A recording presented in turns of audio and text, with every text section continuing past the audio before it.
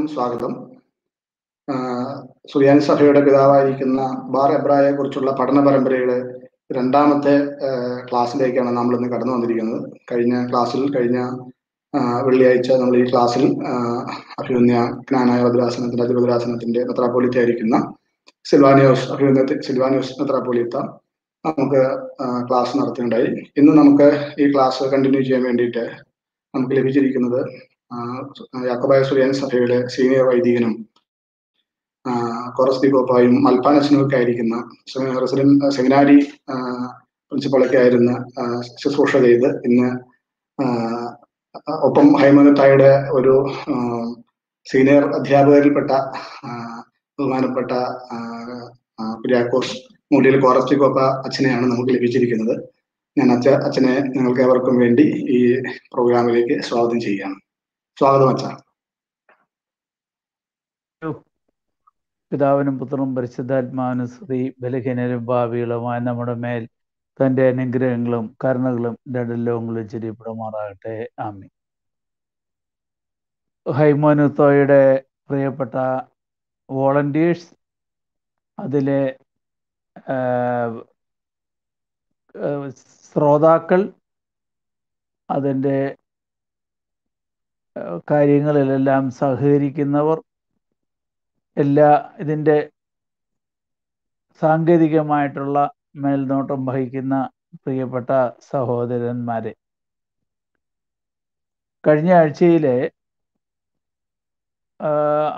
നമ്മുടെ കനാനായ ഭദ്രാസനത്തിന്റെ അമേരിക്കൻ മേഖലയുടെ ആയുബ് മാർ സിൽവാനോ സിരിമേനി ബാറബ്രയെ കുറിച്ച് ഒരു ഒന്നാമത്തെ ക്ലാസ് എടുക്കുകയും ഈ പരമ്പര ഉദ്ഘാടനം ചെയ്യുകയും ചെയ്തു. അതുകൊണ്ട് ആ ഒരു പശ്ചാത്തലം എല്ലാവരുടെയും മനസ്സിൽ ഉണ്ട് എന്നുള്ളത് ഞാൻ വിശ്വസിക്കുകയാണ്. ഇന്ന് ബാറബ്രായെ കുറിച്ച് കഴിവതും തിരുമേനി പറഞ്ഞിട്ടുള്ള കാര്യങ്ങൾ ആവർത്തിക്കാതിരിക്കണം എന്നുള്ളതാണ് എന്റെ ആഗ്രഹം. അതുകൊണ്ട് വ്യത്യസ്തമായിട്ടുള്ള ഒരു വർബ്രയുടെ സംഭാവനകളുടെ ഒരു ചരിത്രം ചില ആനുഷംഗികമായിട്ടുള്ള ചില മറ്റു കാര്യങ്ങളും കൂടെ പറഞ്ഞ് പോകണമെന്നാണ് ഞാൻ ആഗ്രഹിക്കുന്നത്. തിരുമേ ബാറബ്രായയുടെ പിതാവിനെ കുറിച്ചും അദ്ദേഹത്തിന്റെ ഗ്രാമങ്ങളെക്കുറിച്ചും അത് ജനന തീയതിയെ സംബന്ധിച്ചും ഒക്കെ അഭിനന്ദ തിരുമേനി സൂചിപ്പിക്കുകയുണ്ടായി. എന്നാൽ അതിലെ ഒരു അഡീഷണൽ ആയിട്ടുള്ള ഒരു കാര്യം കൂടെ പറയാനായിട്ട് ഞാൻ ആഗ്രഹിക്കുന്നത് അദ്ദേഹത്തിന്റെ ബാർബ്രായ എന്നുള്ളത് അദ്ദേഹത്തിന്റെ പേരല്ല. അത് എങ്ങനെ ഉണ്ടായി എന്നുള്ളതിനെ സംബന്ധിച്ച് തിരുമേനി ഒരു സൂചന തരികയുണ്ടായി. പാശ്ചാത്യ പണ്ഡിതന്മാരായിട്ടുള്ള സുറിയാനി പണ്ഡിതന്മാരും ഓറിയന്റലിസ്റ്റുകളുമായിട്ടുള്ളവരൊക്കെ ഇദ്ദേഹത്തിന്റെ പിതാവ് ഒരു എബ്രായനായിരുന്നുവെന്നും ആ എബ്രായന്റെ മകൻ എന്നുള്ള നിലയിൽ ആണ് ഇദ്ദേഹത്തിന് ബാർ എബ്രോയോ എന്ന് പറഞ്ഞാൽ എബ്രായന്റെ മകൻ എന്നുള്ള പേര് ഉണ്ടായത് എന്നും അവർ നൂറ്റാണ്ടുകളായിട്ട് പറഞ്ഞ് ഫലിപ്പിച്ചുകൊണ്ടാണ് ഇരുന്നത് എന്നാൽ നമ്മുടെ മഹാപ്രതിഭാശാലിയായ അപ്രയം പ്രഥമൻ പാത്രീർക്കിസ് ബാവായുടെ ഗവേഷണ ഫലമായിട്ട് അത് ശരിയല്ല എന്നും ഈ അദ്ദേഹത്തിന്റെ പേര് വരാനുള്ള കാരണം രണ്ട് വിധത്തിൽ വ്യാഖ്യാനിക്കുന്നതായിട്ട് ഞാൻ കണ്ടിട്ടുണ്ട്. ഒന്ന് തിരുമേനി സൂചിപ്പിച്ചായിരുന്നു. നദി കടന്ന് ആ തീരത്ത് വെച്ച് എബ്രോ എന്ന് പറയുമ്പോൾ ഒരു ഒരു ഒരു കടവെന്നുള്ള അർത്ഥത്തിലുണ്ട്. അപ്പോൾ ആ കടവിന്റെ പുത്രൻ എന്നുള്ള അർത്ഥത്തിൽ ഒരു പേരുണ്ട് എന്ന് പറയുന്നു. എന്നാൽ കുറെ കൂടെ അതേക്കുറിച്ച് നമ്മുടെ ചില പണ്ഡിതന്മാരായിട്ടുള്ള ആളുകളെ ഖലീൽ ദിനോ എന്ന് പറയുന്ന കനേഡിയൻ സുറിയാനി പ്രൊഫസർ. അതുപോലെ തന്നെ നമ്മുടെ സിറിയക് എൻസൈക്ലോപീഡിയയിലെ ഒക്കെ പറയുന്ന ഒരു കാര്യമുണ്ട്. അത് എബ്ര എന്നുള്ള ഒരു ഗ്രാമത്തിന്റെ പേരാണ്. അതായത് ബാർബ്രോയോയുടെ പിതാവ് അഹ്റോൻ താമസിച്ചിരുന്ന സ്ഥലമായ ആ ഗ്രാമപ്രദേശത്തിനാണ് എബ്ര എന്ന് പറയുന്നത്. എബ്ര എന്ന് പറയുന്നതിന് ഒരർത്ഥം കൂടെ ഉണ്ട് ദ ഫോർട്ടിഫൈഡ് വില്ലേജ് എന്നുള്ള അർത്ഥത്തിലുണ്ട്. അതായത് മതിൽക്കെട്ടിന്റെ ഉള്ളിൽ ഉള്ള ഒരു പട്ടണം എന്ന് അതിന് അർത്ഥമുണ്ട്. അല്ലെങ്കിൽ ഒരു ഗ്രാമം എന്ന അർത്ഥമുണ്ട്. ആ ഗ്രാമത്തിൽ വെച്ചിൽ നിന്ന് ജനിച്ച ആളെന്നുള്ള നിലയിൽ ബാറബ്രോയോ എന്ന പേര് ലഭിച്ചു എന്ന് ഈ ആധുനിക ഗവേഷകന്മാരും പഠിതാക്കളും ഒക്കെ പറയുന്നുണ്ട്. അതിനേക്കാൾ ഉപരിയായിട്ട് ഇദ്ദേഹത്തും ഇദ്ദേഹത്തിന്റെ പിതാവ് ഒരു ചെമ്മാശനായിരുന്നുവെന്നും വൈദ്യനായിരുന്നുവെന്നും ഉള്ളത് പറയുന്നുണ്ട്. ബാറബ്രായ തന്നെ അദ്ദേഹത്തിന്റെ ജനനത്തെക്കുറിച്ച് പറയുന്ന ഒരു ഭാഗമുണ്ട്. ഞാനതിന്റെ പരിഭാഷ വായിക്കാം. നമ്മുടെ കർത്താവിനെ ശമരിയക്കാരൻ എന്ന് വിളിക്കാമെങ്കിൽ നിന്നെ ബാറബ്രായ എന്ന് വിളിക്കുന്നതിൽ ലജ്ജിക്കേണ്ടതില്ല. എന്തെന്നാൽ ഈ സ്ഥലനാമത്തിന്റെ മൂലം ഫ്രോത്ത് അതായത് യൂഫ്രട്ടീസ് നദിയാണ്. അല്ലാതെ ഏതെങ്കിലും അശ്രീകരമായ സിദ്ധാന്തങ്ങളോ ഭാഷയോ അല്ല. അതായത് എബ്രായ ഭാഷ എന്നുള്ളതോ എബ്രായിക് എന്നുള്ളതായ ആ ഒരു പദത്തിൽ നിന്നല്ല ഉണ്ടായിട്ടുള്ളത്. അത് യൂഫ്രട്ടീസ് നദീതീരത്തുള്ള ഒരു സ്ഥലം എന്നുള്ള നിലയിൽ നിന്നാണ് ആ പേരുണ്ടായത് എന്ന് പറയുന്നുണ്ട്. അപ്പോൾ ഇത് അത് അദ്ദേഹത്തിന്റെ തന്നെ സാക്ഷ്യമാണ്. അപ്പോൾ പിന്നെ അതിനപ്പുറമായിട്ട് അദ്ദേഹത്തിന്റെ ജനനത്തെക്കുറിച്ചും മാതാപിതാക്കളെക്കുറിച്ചും ഒക്കെ പറയുന്നതിന് വേറെ പ്രസക്തി ഇല്ല എന്നുള്ളത് തന്നെയാണ് നാം മനസ്സിലാക്കേണ്ടതായ കാര്യം. ഇനിയും അദ്ദേഹം വളരെ ചുരുങ്ങിയ കാലഘട്ടമേ ജീവിച്ചിരുന്നുള്ളൂ. എന്ന് പറഞ്ഞാൽ അറുപതാമത്തെ വയസ്സിൽ അദ്ദേഹം ഈ ലോകത്തിൽ നിന്ന് വേർപിരിഞ്ഞു പോയി. ആ അറുപതാമത്തെ വയസ്സിൽ അദ്ദേഹം ലോകത്തിൽ നിന്ന് ദൈവതിരുസന്നിധിയിലേക്ക് വിളിക്കപ്പെട്ടു പോയി എങ്കിൽ അദ്ദേഹത്തിന്റെ ജീവിതം ഒരു മൂന്ന് ഭാഗങ്ങളായിട്ട് നമുക്ക് തിരിക്കാൻ പറ്റും. ആദ്യത്തെ ഇരുപത് വയസ്സ് വരെ. ഇദ്ദേഹത്തിന്റെ പിതാവ് അവിടുന്ന് അന്ത്യോക്യയിലേക്ക് കുടിയേറിപ്പോയി.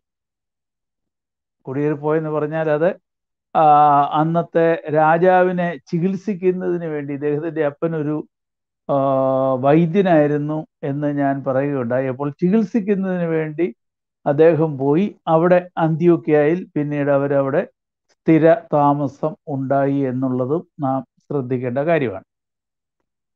അവിടെ വെച്ച് അദ്ദേഹത്തിന് ഇരുപത് വയസ്സ് വരെ വളരെ സമഗ്രമായി പഠിക്കുന്നതിനുള്ളതായ അവസരം കിട്ടി. അനേകം ഭാഷകൾ അദ്ദേഹത്തിന് അറിയായിരുന്നു.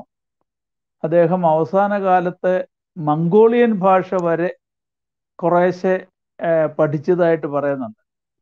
അക്കാലത്തെ സുറിയാനിക്കാർ ഗ്രീക്ക് ഭാഷ പഠിക്കുന്നവർ ചുരുക്കമാണ്. പക്ഷെ ബാരബ്രായായിക്ക് ഗ്രീക്ക് ഭാഷ അറിയാമായിരുന്നു എന്നുള്ളതിന്റെ തെളിവുകൾ അദ്ദേഹത്തിന്റെ തന്നെ വേദപുസ്തക വ്യാഖ്യാന പുസ്തകത്തിൽ പറയുന്നുണ്ട്. അപ്പോൾ ഗ്രീക്ക് അറബി സുറിയാനി എന്നീ ഭാഷകളിൽ നല്ല വ്യുൽപ്പത്തി അദ്ദേഹത്തിനുണ്ടായിരുന്നു. അതുകൂടാതെ പ്രാദേശിക ഭാഷകൾ അദ്ദേഹം പലതും മനസ്സിലാക്കിയിട്ടുണ്ടായിരുന്നു.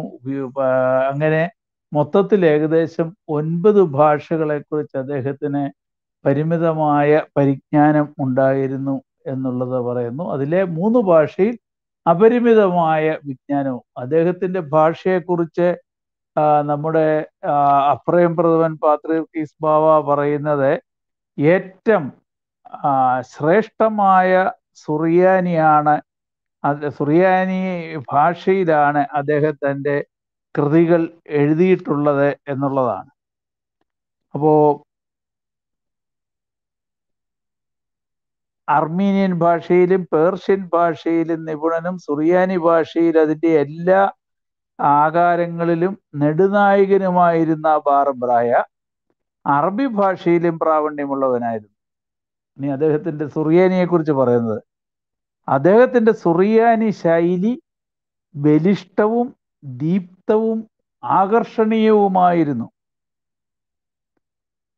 എപ്പോഴെല്ലാം വായനക്കാർ അദ്ദേഹത്തിന്റെ കൃതികളിൽ മുങ്ങിത്തപ്പുന്നുവോ അപ്പോഴെല്ലാം വിലയേറിയതും വിശിഷ്ടങ്ങളുമായ മാണിക്യങ്ങൾ അവർക്ക് കണ്ടെത്തുവാൻ സാധിക്കും.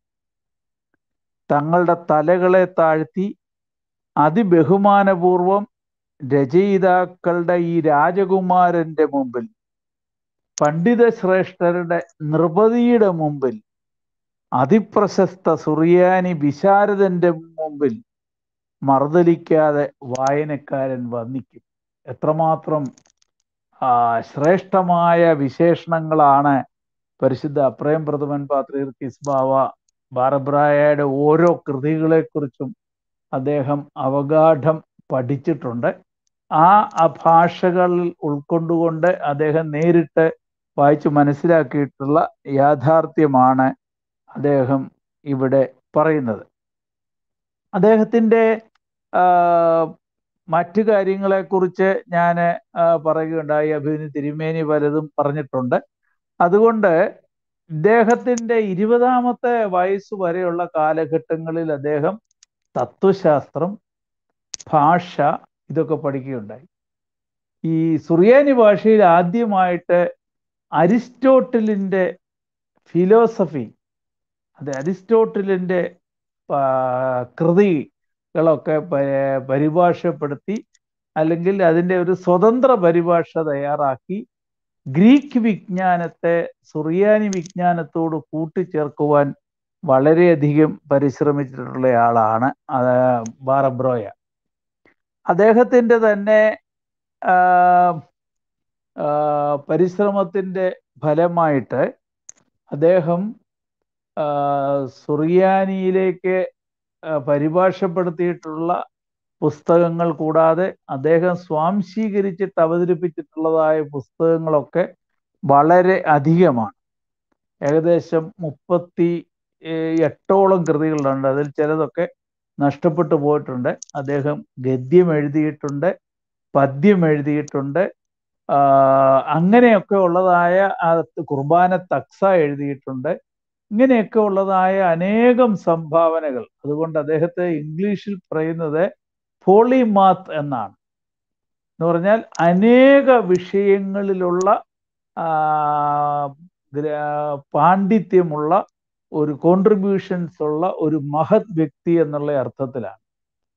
അദ്ദേഹത്തെക്കുറിച്ച് വീണ്ടും പറയുന്നത് ഒരു ലിവിങ് എൻസൈക്ലോപീഡിയ എന്നാണ്.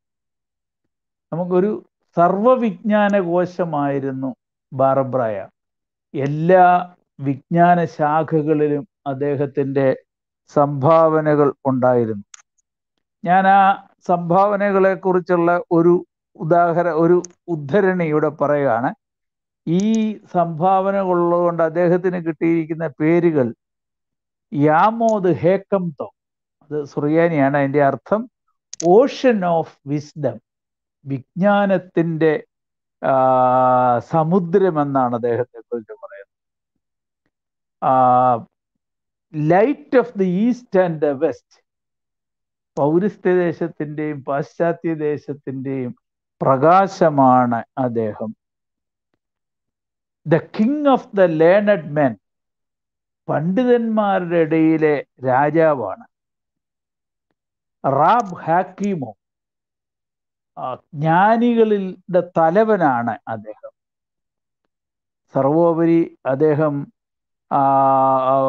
ആബോ കാദീശോ ഒരു വിശുദ്ധനായ പിതാവാണ്. അദ്ദേഹത്തിന്റെ വിജ്ഞാനത്തെക്കുറിച്ച് പറയുന്നത് he's having a divine knowledge of everything അടിസ്ഥാനപരമായിട്ട് അദ്ദേഹം ഒരു വിജ്ഞാനിയായിരുന്നു. ഞാൻ അദ്ദേഹത്തെ കുറിച്ച് എഴുതിയിട്ടുള്ള ഒരു പുസ്തകത്തിലെ അദ്ദേഹത്തിന്റെ ഒരു പ്രത്യേകത വായിക്കുകയുണ്ടായി. അതായത് അദ്ദേഹത്തിന് ആരെങ്കിലും കൊണ്ടുവന്ന് ഈ പണം കൈമുത്തായിട്ട് കൊടുത്താൽ അദ്ദേഹം അത് സ്വീകരിക്കത്തില്ല. പണം അദ്ദേഹത്തിന് കാണുന്നത് പോലും ഇഷ്ടമല്ല. അദ്ദേഹം ദേറാകളിൽ താമസിക്കുക പള്ളികൾ പണിയിക്കുക ഇങ്ങനെയൊക്കെയുള്ള കാര്യങ്ങൾ ചെയ്യുക അല്ലാതെ സ്വന്തം നിലയിൽ അദ്ദേഹം ആരോടും പണം സ്വീകരിച്ചിരുന്നില്ല. ചില ആളുകൾ അവിടെ വന്ന് അദ്ദേഹത്തിന്റെ അരിക്കൽ മുട്ടുകുത്തിയിട്ടൊക്കെ ഈ അദ്ദേഹം ഇരിക്കുന്നതിന്റെ താഴെയൊക്കെ അവരുടെ സംഭാവനകളൊക്കെ വെച്ചിട്ട് പോകും. അദ്ദേഹം അറിഞ്ഞ് അത് സ്വീകരിക്കാതില്ല. അദ്ദേഹം എപ്പോ കാണുന്നോ കണ്ടാൽ ഉടനെ ദേറായിലുള്ളവരോട് പറയും ആ ടേക്ക് ദാറ്റ് തിങ് എവേ ആ സാധനം അവിടുന്ന് എടുത്തോണ്ട് പോകാൻ പറയും. എന്ന് പറഞ്ഞാൽ ഈ ലോകത്തിന്റെ ധനത്തോട് യാതൊരു വിധമായ ആഭിമുഖ്യവും പുലർത്തിയിട്ടില്ലാത്ത ഒരു വ്യക്തിയാണ്. ആയിരക്കണക്കിന് പേജുകളിലാണ് അദ്ദേഹത്തിന്റെ ഈ സംഭാവനകൾ. ഞാൻ ഓർക്കുകയാണ് ഇദ്ദേഹത്തിന്റെ കൃതികളൊന്ന് പകർത്തി എഴുതണമെങ്കിൽ പോലും വർഷങ്ങളെടുക്കും ആ പക്ഷേ അദ്ദേഹത്തിന്റെ തിരക്ക് പിടിച്ച ജീവിതം അതായത് ഇരുപതാമത്തെ വയസ്സിൽ മെത്രാപ്പൊലിത്തായതാ യാതൊരു കാരണവശാലും നമുക്കറിയാം സഭാചരിത്രത്തിൽ ഇത്രയും ഇളം പ്രായത്തിൽ മെത്രാപ്പൊലിത്തായ ആരും സുറിയാനി ഓർത്തഡോക്സ് സഭയിലില്ല ഇരുപതാമത്തെ വയസ്സിൽ മെത്രാപ്പൊലിത്തായി ചുമതലകളേറ്റു ഭദ്രാസനങ്ങളിൽ അദ്ദേഹത്തിന് മാറി മാറി വന്നു. ആലപ്പുഴയിൽ അദ്ദേഹം മെത്രാനായി നിയമിതനായി കഴിഞ്ഞപ്പോൾ അവിടെ വെച്ച് അന്നത്തെ ഭരണാധികാരിയുടെ അരിക്കലെ ക്രിസ്ത്യാനികളുടെ സംരക്ഷണത്തിന് വേണ്ടി അദ്ദേഹം മധ്യസ്ഥതയ്ക്ക് പോയി. അദ്ദേഹം അവിടുന്ന് തിരിച്ചു പോരാൻ തുടങ്ങിയപ്പോൾ അദ്ദേഹത്തെ പിടിച്ച് ആലപ്പുഴയിലെ ഒരു തുറുങ്കിൽ അദ്ദേഹത്തെ അടയ്ക്കുകയുണ്ടായി. ആ തുറുങ്കൊക്കെ രണ്ടായിരത്തി പത്തിലൊക്കെ അവിടെ ഉണ്ടായിരുന്നു. ഞാൻ അന്ന് ആലപ്പുഴയിൽ പോയപ്പോൾ അവിടെ ഈ തുരങ്കം കാണാൻ വേണ്ടി അഭിമന്യ അന്നത്തെ നമ്മുടെ തിരുമേനി അന്ന് ആ കോൺഫറൻസിന് ചെന്ന് എല്ലാവരെയും കൂട്ടിക്കൊണ്ട് പോവുകയൊക്കെ ചെയ്തായിരുന്നു. ബാർബറായ തടങ്കലിൽ പാർക്കേണ്ടി വന്നിട്ടുണ്ട്. അതുപോലെ ശത്രുക്കളായ രാജാക്കന്മാരുടെ പീഡനം കൊണ്ട് വളരെയധികം ജനങ്ങളെ സംരക്ഷിക്കേണ്ട ഉത്തരവാദിത്വം അദ്ദേഹത്തിനുണ്ടായിരുന്നു. അദ്ദേഹം കാതോലിക്കായി കഴിഞ്ഞപ്പോൾ പത്ത് ഭദ്രാസനങ്ങൾ അദ്ദേഹം ഉണ്ടാക്കി. അവിടുത്തെ പേർക്ക് മെത്രാപുരത്തന്മാരെ അദ്ദേഹം നിയോഗിച്ചു എന്ന് കാണുന്നുണ്ട്. അദ്ദേഹത്തിന്റെ ഒരു കാലത്ത് ജീവിച്ചിരുന്ന ഒരു ബിഷപ്പ് അദ്ദേഹത്തിന്റെ ജീവിതാവസാനം അടുത്തപ്പോഴത്തേക്ക് അദ്ദേഹത്തിനുണ്ടായിരുന്ന സകലതും വിറ്റു. ആ വിറ്റ പണം മുഴുവൻ ബാറബ്രായയെ ഏൽപ്പിച്ചു. കുറെ പണം ഉപയോഗിച്ച് തടങ്കലിൽ പാർത്തിരുന്ന സുറിയാനിക്കാരെ മുഴുവൻ വിമോചിപ്പിക്കാനായിട്ട് ഉപയോഗിച്ചു. എന്നിട്ട് ഇവരെ മുഴുവൻ ബാറബ്രായടിക്ക് പറഞ്ഞയച്ചു. ഇവർക്ക് സഭാവിജ്ഞാനീയത്തിലുള്ള പഠനം നൽ നടത്തുവാൻ വേണ്ടി മാത്രമായിട്ട് ആ പണം വിനിയോഗിക്കണമെന്ന് പറഞ്ഞു. ബാറബ്രായയുടെ സമകാലീനനായിരുന്ന ആ ബിഷപ്പ് ഒരു നയാ പൈസ പോലും കൈവശമില്ലാതെ കാലം ചെയ്യുന്നതായിട്ട് നമുക്ക് കാണുവാനായിട്ട് സാധിക്കും. ഞാൻ പറഞ്ഞത് അത്രമാത്രം ശ്രേഷ്ഠമായ ഒരു സ്വഭാവ വൈശിഷ്ട്യം നിലനിർത്തിയിരുന്ന ആളാണ് ബാർബ്രായ അദ്ദേഹം സ്വപരിശ്രമം കൊണ്ട് ഞാൻ പറഞ്ഞല്ലോ മംഗോളിയൻ ഭാഷ അദ്ദേഹം പഠിച്ചു. മംഗോളിയനായ ഒരു നെസ്തോറിയ ബിഷപ്പ് കാതോ ഇദ്ദേഹത്തിന്റെ കാലത്ത് കാതോലിക്കോസ് ആയിട്ടത്. യാബാലാഹ മൂന്നാമൻ എന്നാണ് അദ്ദേഹത്തിന്റെ പേര്. ഈ യാബാലാഹ മൂന്നാമനുമായിട്ട് ഇദ്ദേഹം വളരെ നല്ല സമ്പർക്കം പുലർത്തുവാനും ആ ബിഷപ്പുമായിട്ട് നല്ല സമ്പർക്കത്തിന്റെ ഫലമായിട്ട് ഈ സഭകൾ തമ്മിൽ തന്നെ അടുക്കുന്നതിന് മുഖാന്തരമായിട്ടൊക്കെ തീർന്നിട്ടുണ്ട്. ഒരു കാര്യം നമ്മൾ ഓർക്കണം. ബാറബ്രായയെ കാതോലിക്കോസായിട്ട് വാഴിക്കുന്ന സമയത്ത് മഫ്രിയാൻ എന്നുള്ളത് തിഗ്രീസിലെ ഉപയോഗിക്കുന്നുണ്ടെങ്കിലും ബാറബ്രായയുടെ സ്ഥാനാഭിഷേകത്തിൽ കാതോലിക്കോസ് എന്നുള്ള പദപ്രയോഗവും ഉപയോഗിക്കുന്നുണ്ട്. ഞാനിപ്പം ശ്രോതാക്കളുടെ ശ്രദ്ധയ്ക്ക് വേണ്ടിയിട്ട് പറയാം. ഇത് രണ്ടും അധികാരത്തിൽ ഒരുപോലെ. മഫ്രിയാൻ എന്ന് പറഞ്ഞാൽ വർദ്ധിപ്പിക്കുന്നവൻ എന്നുള്ള അർത്ഥത്തിലാണ്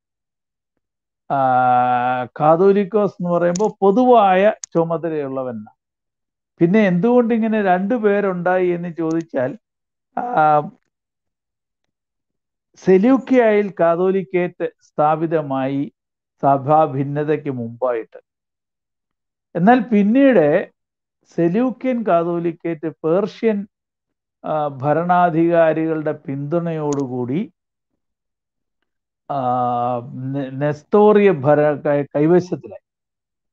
അപ്പോൾ അന്ന് പേർഷ്യയിലുണ്ടായിരുന്ന ക്രിസ്ത്യാനികളിൽ ഭൂരിപക്ഷവും നെസ്തോറിയരായിരുന്നു. രാജകീയ പിന്തുണ അവർക്കുണ്ടായിരുന്നു. കാരണം അന്ത്യോക്യ റോമ പ്രവിശ്യയിലായതുകൊണ്ട് പേർഷ്യൻ സാമ്രാജ്യത്തിന്റെ ശത്രു രാജ്യമായ റോ റോമിലെ റോമ സാമ്രാജ്യത്തിലെ സഭയെ അനുകൂലിക്കുന്നവരോടുള്ള ശത്രുവിന്റെ ശത്രു മിത്രം എന്ന് പറയുന്നത് പോലെ നെസ്തോറിയൻസ് അവിടുന്ന് നാട് കടത്തപ്പെട്ട് പേർഷ്യയിൽ വന്നവരാണ്. അപ്പൊ അവർക്ക് കൂടുതൽ പ്രാബല്യമുണ്ടായി രാജകീയ പിന്തുണയുണ്ടായി. ആ രാജകീയ പിന്തുണയിൽ അവരെ കാതോലിക്കോസ് എന്ന പദവി അവരുടേതാക്കി എടുത്തു അപ്പൊ ആ പേരിൽ അവിടെ ഒരു കാതോലിക്കയെ വാഴിക്കാൻ പറ്റാതെ വന്നപ്പോഴാണ് തിഗ്രീസ് എന്ന സ്ഥലത്തെ പകരമായിട്ട് ഈ സ്ഥാ കുറെ കാലം നമ്മുടെ സത്യവിശ്വാസികളായ കാതോലിക്കന്മാരില്ലാതെ വന്നു. അപ്പോഴാ സമയത്ത് അവിടെ തിഗ്രീസിൽ മഫ്രിയാൻ എന്ന പേരിലൊരു കാതോലിക്കായി വാഴിച്ചു. അത് അറുന്നൂറ്റി ഇരുപത്തി ഒമ്പതിലാണ് അതേ തുടർന്ന് ബാറബ്രായയുടെ വാഴ്ച സമയം വന്നപ്പോഴത്തേക്കും ആ ഒരു സമയത്ത് മഫ്രിയൻ ഓർ കാതോലിക്കോസ് എന്നുള്ള പദപ്രയോഗം ഉണ്ടായി. അപ്പോൾ കാതോലിക്കോസ് എന്നുള്ള പേര് യാക്കോബായ മഫ്രിയൻ സ്വീകരിച്ചത് കൊണ്ട് നെസ്തോറിയൻസിനെ യാക്കോബായക്കാരോടും ബാർബ്രായോടും തന്നെ പിണക്കാൻ അതെല്ലാം പാച്ചപ്പ് ചെയ്ത് സ്നേഹപൂർവം ഉള്ള സമീപനം പണ്ഡിതന്മാരുമായിട്ടുള്ള അദ്ദേഹത്തിന്റെ സംസർഗം ഇങ്ങനെയൊക്കെയുള്ള കാരണങ്ങൾ കൊണ്ട് അവർക്ക് ആരുമായിട്ട് നല്ല ബന്ധം പുലർത്താനായിട്ട് സാധിച്ചു. ബാർബ്രായയുടെ മരണസമയത്തെക്കുറിച്ച് പറയുന്നുണ്ട്. അതായത് നെസ്തോറിയൻ പേട്രിയാർക്ക് മാറാഗ എന്ന് പറയുന്ന സ്ഥലത്താണ് ബാർബ്രായ കാലം ചെയ്യുന്നത്. അത് നെസ്തോറിയൻ കാതോലിക്കോസും അവിടെയുള്ള സമയത്താണ്. അദ്ദേഹം നേരിട്ട് അദ്ദേഹത്തിന്റെ മെത്രാന്മാരോടൊപ്പം വന്ന് ബാറബ്രായക്ക് അന്തിമോപചാരം അർപ്പിച്ചു. എന്ന് മാത്രമല്ല കടകമ്പോളങ്ങൾ നെസ്തോറിയരുടെ കടകമ്പോളങ്ങൾ മുഴുവൻ അടച്ചിടാനായിട്ട് അദ്ദേഹം ഉത്തരവിട്ടു. അവരുടെ പള്ളികളിൽ ദുഃഖമണികൾ അടിക്കുവാനായിട്ടുള്ള ഏർപ്പാട് ചെയ്തു. ബാർബ്രായ സകലരാലും ആരാധ്യനായി ഈ ലോകത്തിൽ നിന്ന് കടന്നുപോയി. അദ്ദേഹത്തിന് അറബികളുടെ ഇടയിൽ വലിയ സ്വാധീനം ഉണ്ടായിരുന്നു അതിനുള്ള കാരണം ബാർബ്രായയുടെ ഈ വിജ്ഞാന ഗ്രന്ഥങ്ങളിൽ ചിലതൊക്കെ അറബി പണ്ഡിതന്മാരായിട്ടുള്ള ആളുകൾ ആവശ്യപ്പെട്ടിട്ട് അദ്ദേഹം അറബി ഭാഷയിലേക്ക് പരിഭാഷപ്പെടുത്തി കൊടുത്തിട്ടുണ്ട്. അത് അവർക്ക് വലിയൊരു വിജ്ഞാന നിക്ഷേപവുമായിട്ട് അവർക്ക് പ്രയോജനപ്പെടുത്താനായിട്ട് സാധിച്ചിട്ടുണ്ട്. ഇങ്ങനെ പല വിധത്തിൽ നോക്കുമ്പോഴും ബാർബറായ ഒരു പ്രത്യേക പണ്ഡിതൻ എന്നുള്ളത് മാത്രമല്ല പ്രത്യേക വ്യക്തിത്വത്തിന്റെ ഉടമയും മറ്റുള്ളവരുമായിട്ടുള്ള ബന്ധത്തിന് അദ്ദേഹത്തിന്റെ വൈജ്ഞാനിക സിദ്ധി കൊണ്ട് ബന്ധ ബന്ധപ്പെടുവാനും സാധിച്ചിട്ടുള്ള ഒരു മഹാത്മാവാണ്. ഈ എക്യൂമിനിസം ഒക്കെ ഇത്രയും വികാസം പ്രാപിക്കുന്നതിന് മുമ്പ് തന്നെ എക്യൂമിനിസം പ്രായോഗികമാക്കിയ ഒരു സഭാതലവനായിരുന്നു ബാറബ്രായ. അതുപോലെ തന്നെ ബാറബ്രായയെ കുറിച്ച് വേറെ ഒരു ഭാഗമുണ്ട്. അതായത് ബാറബ്രായ അദ്ദേഹത്തിന്റെ മേൽസ്ഥാനിയായ പാത്രിയർക്കീസ് പാത്രിയർക്ക സ്ഥാനത്തേക്ക് വരാൻ ആഗ്രഹിക്കുന്നു എന്ന് ചില അവിടുത്തെ ചില പാത്രിയർക്ക സ്ഥാനത്തെക്കുറിച്ചുള്ള ചില പൊളിറ്റിക്സ് ഉണ്ടായി. അതായത് ഒരു സമയത്ത് രണ്ട് പാത്രിക്കീസ് ഒക്കെ ഉണ്ടായി. അപ്പോൾ പരമ്പരാഗതമായിട്ട് ഉള്ള പാരമ്പര്യത്തിൽ നിലനിന്ന പാത്രീർക്കീസിനെ ബാറബ്രായ പിന്തുണയ്ക്കുക മാത്രമല്ല ബാറബ്രായയുടെ ആദ്യകാല സുഹൃത്തുക്കളായിരുന്ന ആളുകൾ വന്ന് പറഞ്ഞിട്ട് പോലും അദ്ദേഹത്തിന്റെ നിലപാടിൽ അദ്ദേഹം ഉറച്ചു നിന്ന ഒരു സ്ഥിരപ്രജ്ഞനായ ഒരു വ്യക്തിയായിരുന്നു ബാർബറായ ഇനി അദ്ദേഹത്തിന്റെ വൈജ്ഞാനിക സംഭാവനകൾ എന്ന് പറയുന്നതിനെ കുറിച്ച് ഞാൻ പറഞ്ഞു. ഒരു മനുഷ്യായുസ് വേണം അദ്ദേഹം എഴുതിയിട്ടുള്ളത് മുഴുവൻ പകർത്തി എഴുതാൻ. പക്ഷേ അദ്ദേഹം ഈ വിജ്ഞാനം സമ്പാദിക്കുന്നതോടൊപ്പം ഇത് മുഴുവൻ പുസ്തകങ്ങളാക്കി എഴുതി വയ്ക്കുകയും ആ ഒട്ടുമിക്ക പുസ്തകങ്ങളും നമുക്ക് ലഭ്യമാകുകയും ചെയ്തിട്ടുണ്ട്. ഇന്നും ബാറബ്രായയുടെ പല കൃതികളും നമുക്ക് പ്രയോജനകരമായിട്ട് തീരുന്നുണ്ട്. ഞാൻ ചില കൃതികളെക്കുറിച്ചൊക്കെ എല്ലാ കൃതികളെ കുറിച്ച് പറയാൻ പറ്റുന്നില്ലെങ്കിലും കുറെ കൃതികളെക്കുറിച്ച് പരിചയപ്പെടുത്താനായിട്ട് ഞാൻ ആഗ്രഹിക്കുന്നുണ്ട്. അദ്ദേഹത്തിന്റെ ഒരു കൃതിയുടെ പേരാണ് ഔസാർ റോസൈ എന്ന് പറഞ്ഞാൽ സ്റ്റോർ ഹൗസ് ഓഫ് സീക്രട്സ് അതായത് രഹസ്യങ്ങളുടെ കലവറയാണ്. ഇത് വേദപുസ്തകത്തിന്റെ ഒരു സമ്പൂർണ വ്യാഖ്യാനമാണ്. എന്ന് പറഞ്ഞാൽ കേവലം ഒരു ഒരു പിതാക്കന്മാരുടെ വഴിയിലൂടെയുള്ള ഒരു കേവല ഒരു ഒരു ഒരു വ്യാഖ്യാന കൃതിയായിട്ട് മാത്രമല്ല ഭാഷാശാസ്ത്രത്തിന്റെയും സാഹിത്യത്തിന്റെയും ആത്മീയതയുടെയും വ്യാഖ്യാനങ്ങൾ അടന്ന് അടങ്ങുന്ന വിശിഷ്ടമായ ഒരു കൃതിയാണ്. എന്ന് മാത്രമല്ല അദ്ദേഹം ഈ പല സുറിയാനി പകർപ്പുകളെ ആശ്രയിച്ചാണ് അദ്ദേഹം ഇത് എഴുതിയിട്ടുള്ളത്. സുറിയാനി സഭയുടെ അംഗീകൃതമായിട്ടുള്ള ആ ഒരു പതിപ്പെന്ന് പറയുന്നത് പെഷീത്തായ. ഇപ്പം നമ്മൾ ഉപയോഗിക്കുന്ന വിശുദ്ധ കണിയാമ്പറം വെച്ച് പരിഭാഷപ്പെടുത്തിയിട്ടുള്ള വിശുദ്ധ ഗ്രന്ഥത്തിന്റെ ഒറിജിനൽ. അദ്ദേഹം അത് മാത്രമല്ല നോക്കിയിട്ടുള്ളത്. അദ്ദേഹം ഈ സീറോ ഹെക്സാപ്ല എന്ന് പറയുന്ന ഒരു എഡീഷൻ ഉണ്ട്. അതായത് അനേ ഗ്രീക്ക് പല ഗ്രീക്ക് പരിഭാഷകളെ അതിന്റെ ഒരു കോളത്തിൽ സുറിയാനിയുമായിട്ട് ഒക്കെ തയ്യാറാക്കിയിട്ടുള്ള അതിനാണ് സീറോ ഹെക്സാപ്ല എന്ന് പറയുന്നത്. Bible in six columns in different languages പല ഭാഷകളിലുള്ള ബൈബിളുകൾ ഇങ്ങനെ താരതമ്യേന ബൈലിംഗ്വൽ ബൈബിളുകളൊക്കെ നിങ്ങൾ കണ്ടിട്ടുണ്ടായിരിക്കും. ഈ അടുത്ത കാലത്ത് ജോർജ് കിരാസ് അമേരിക്കയിൽ നിന്നും ബൈലിംഗ്വൽ സുറിയാനി പുതിയ നിയമം പെഷീത്തായിൽ നിന്ന് ഇറക്കിയിട്ടുണ്ട്. ഒരു സൈഡിൽ ഇംഗ്ലീഷും ഒരു സൈഡിൽ സുറിയാനിയുമായിട്ട്. എന്ന് പറഞ്ഞതുപോലെ ആറ് കോളത്തിൽ ഇങ്ങനെ ഗ്രീക്ക് പരിഭാഷകളെ ഒക്കെ ആയിട്ട് ചേർത്ത് സുറിയാനിയും ഒക്കെ ചേർത്തിട്ടുള്ള ഒന്നിനാണ് സീറോ ഹെക്സാപ്ല എന്ന് പറയുന്നത്. വെറും ഹെക്സാപ്ല ഉണ്ട്. ആ ഹെക്സാപ്ലായ്ക്കകത്ത് ഒരു കോളം സുറിയാനി അല്ല എന്നാൽ പിന്നീട് സുറിയാനി പിതാക്കന്മാർ സീറോ ഹെക്സാപ്ല എന്ന സി സിറിയക് ടെക്സ്റ്റും കൂടെ കൂട്ടിച്ചേർത്ത് ഒരു കോളത്തിലാക്കിയിട്ട് അതിനെ സീറോ ഹെക്സാപ്ല എന്ന് പറയുന്നുണ്ട്. എന്ന് മാത്രമല്ല അദ്ദേഹം തോമസ് ഹർക്കലോയയുടെ ഒരു പരിഷ്കരിച്ച ഒരു സുറിയാനി വിശുദ്ധ ഗ്രന്ഥമുണ്ട്. അതിലെ വ്യത്യസ്തതകളും ഒക്കെ കമ്പയർ ചെയ്തിട്ടുണ്ട്. അപ്പൊ ബഹു വിവിധങ്ങളായ പരിഭാഷകളും പതിപ്പുകളും ഉപയോഗിച്ച് കമ്പയർ ചെയ്തുകൊണ്ടാണ് ബാർബ്രായ ഈ ബൈബിൾ വ്യാഖ്യാനം തയ്യാറാക്കിയിട്ടുള്ളത്. അപ്പം അത് അതിന്റെ ഒരു ആധികാരികത വളരെ സ്പഷ്ടമായിട്ട് മനസ്സിലാക്കാൻ സാധിക്കും. എന്ന് മാത്രമല്ല കോപ്റ്റിക് അർമീനിയൻ നെസ്തോറിയൻ പരിഭാഷകൾ എന്നിവയെല്ലാം കൂട്ടി പഠിച്ചുകൊണ്ടാണ് അദ്ദേഹം അത് എഴുതിയിട്ടുള്ളത്. അദ്ദേഹത്തിന്റെ കൃതിയിൽ നിന്ന് മനസ്സിലാകുന്ന ഒരു കാര്യമുണ്ട്. അദ്ദേഹത്തിന് ഏറ്റവും കൂടുതൽ ഇഷ്ടമുണ്ടായിരുന്ന പതിപ്പെന്ന് പറയുന്നത് ഹെക്സാപ്ലായിലെ സീറോ സിറിയക് കോളമാണ്.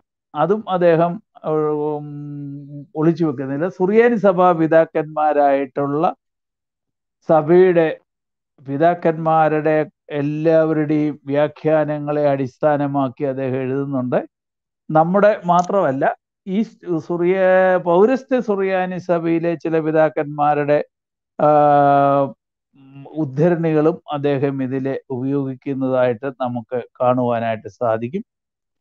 അദ്ദേഹത്തിന്റെ ദൈവശാസ്ത്രജ്ഞതയും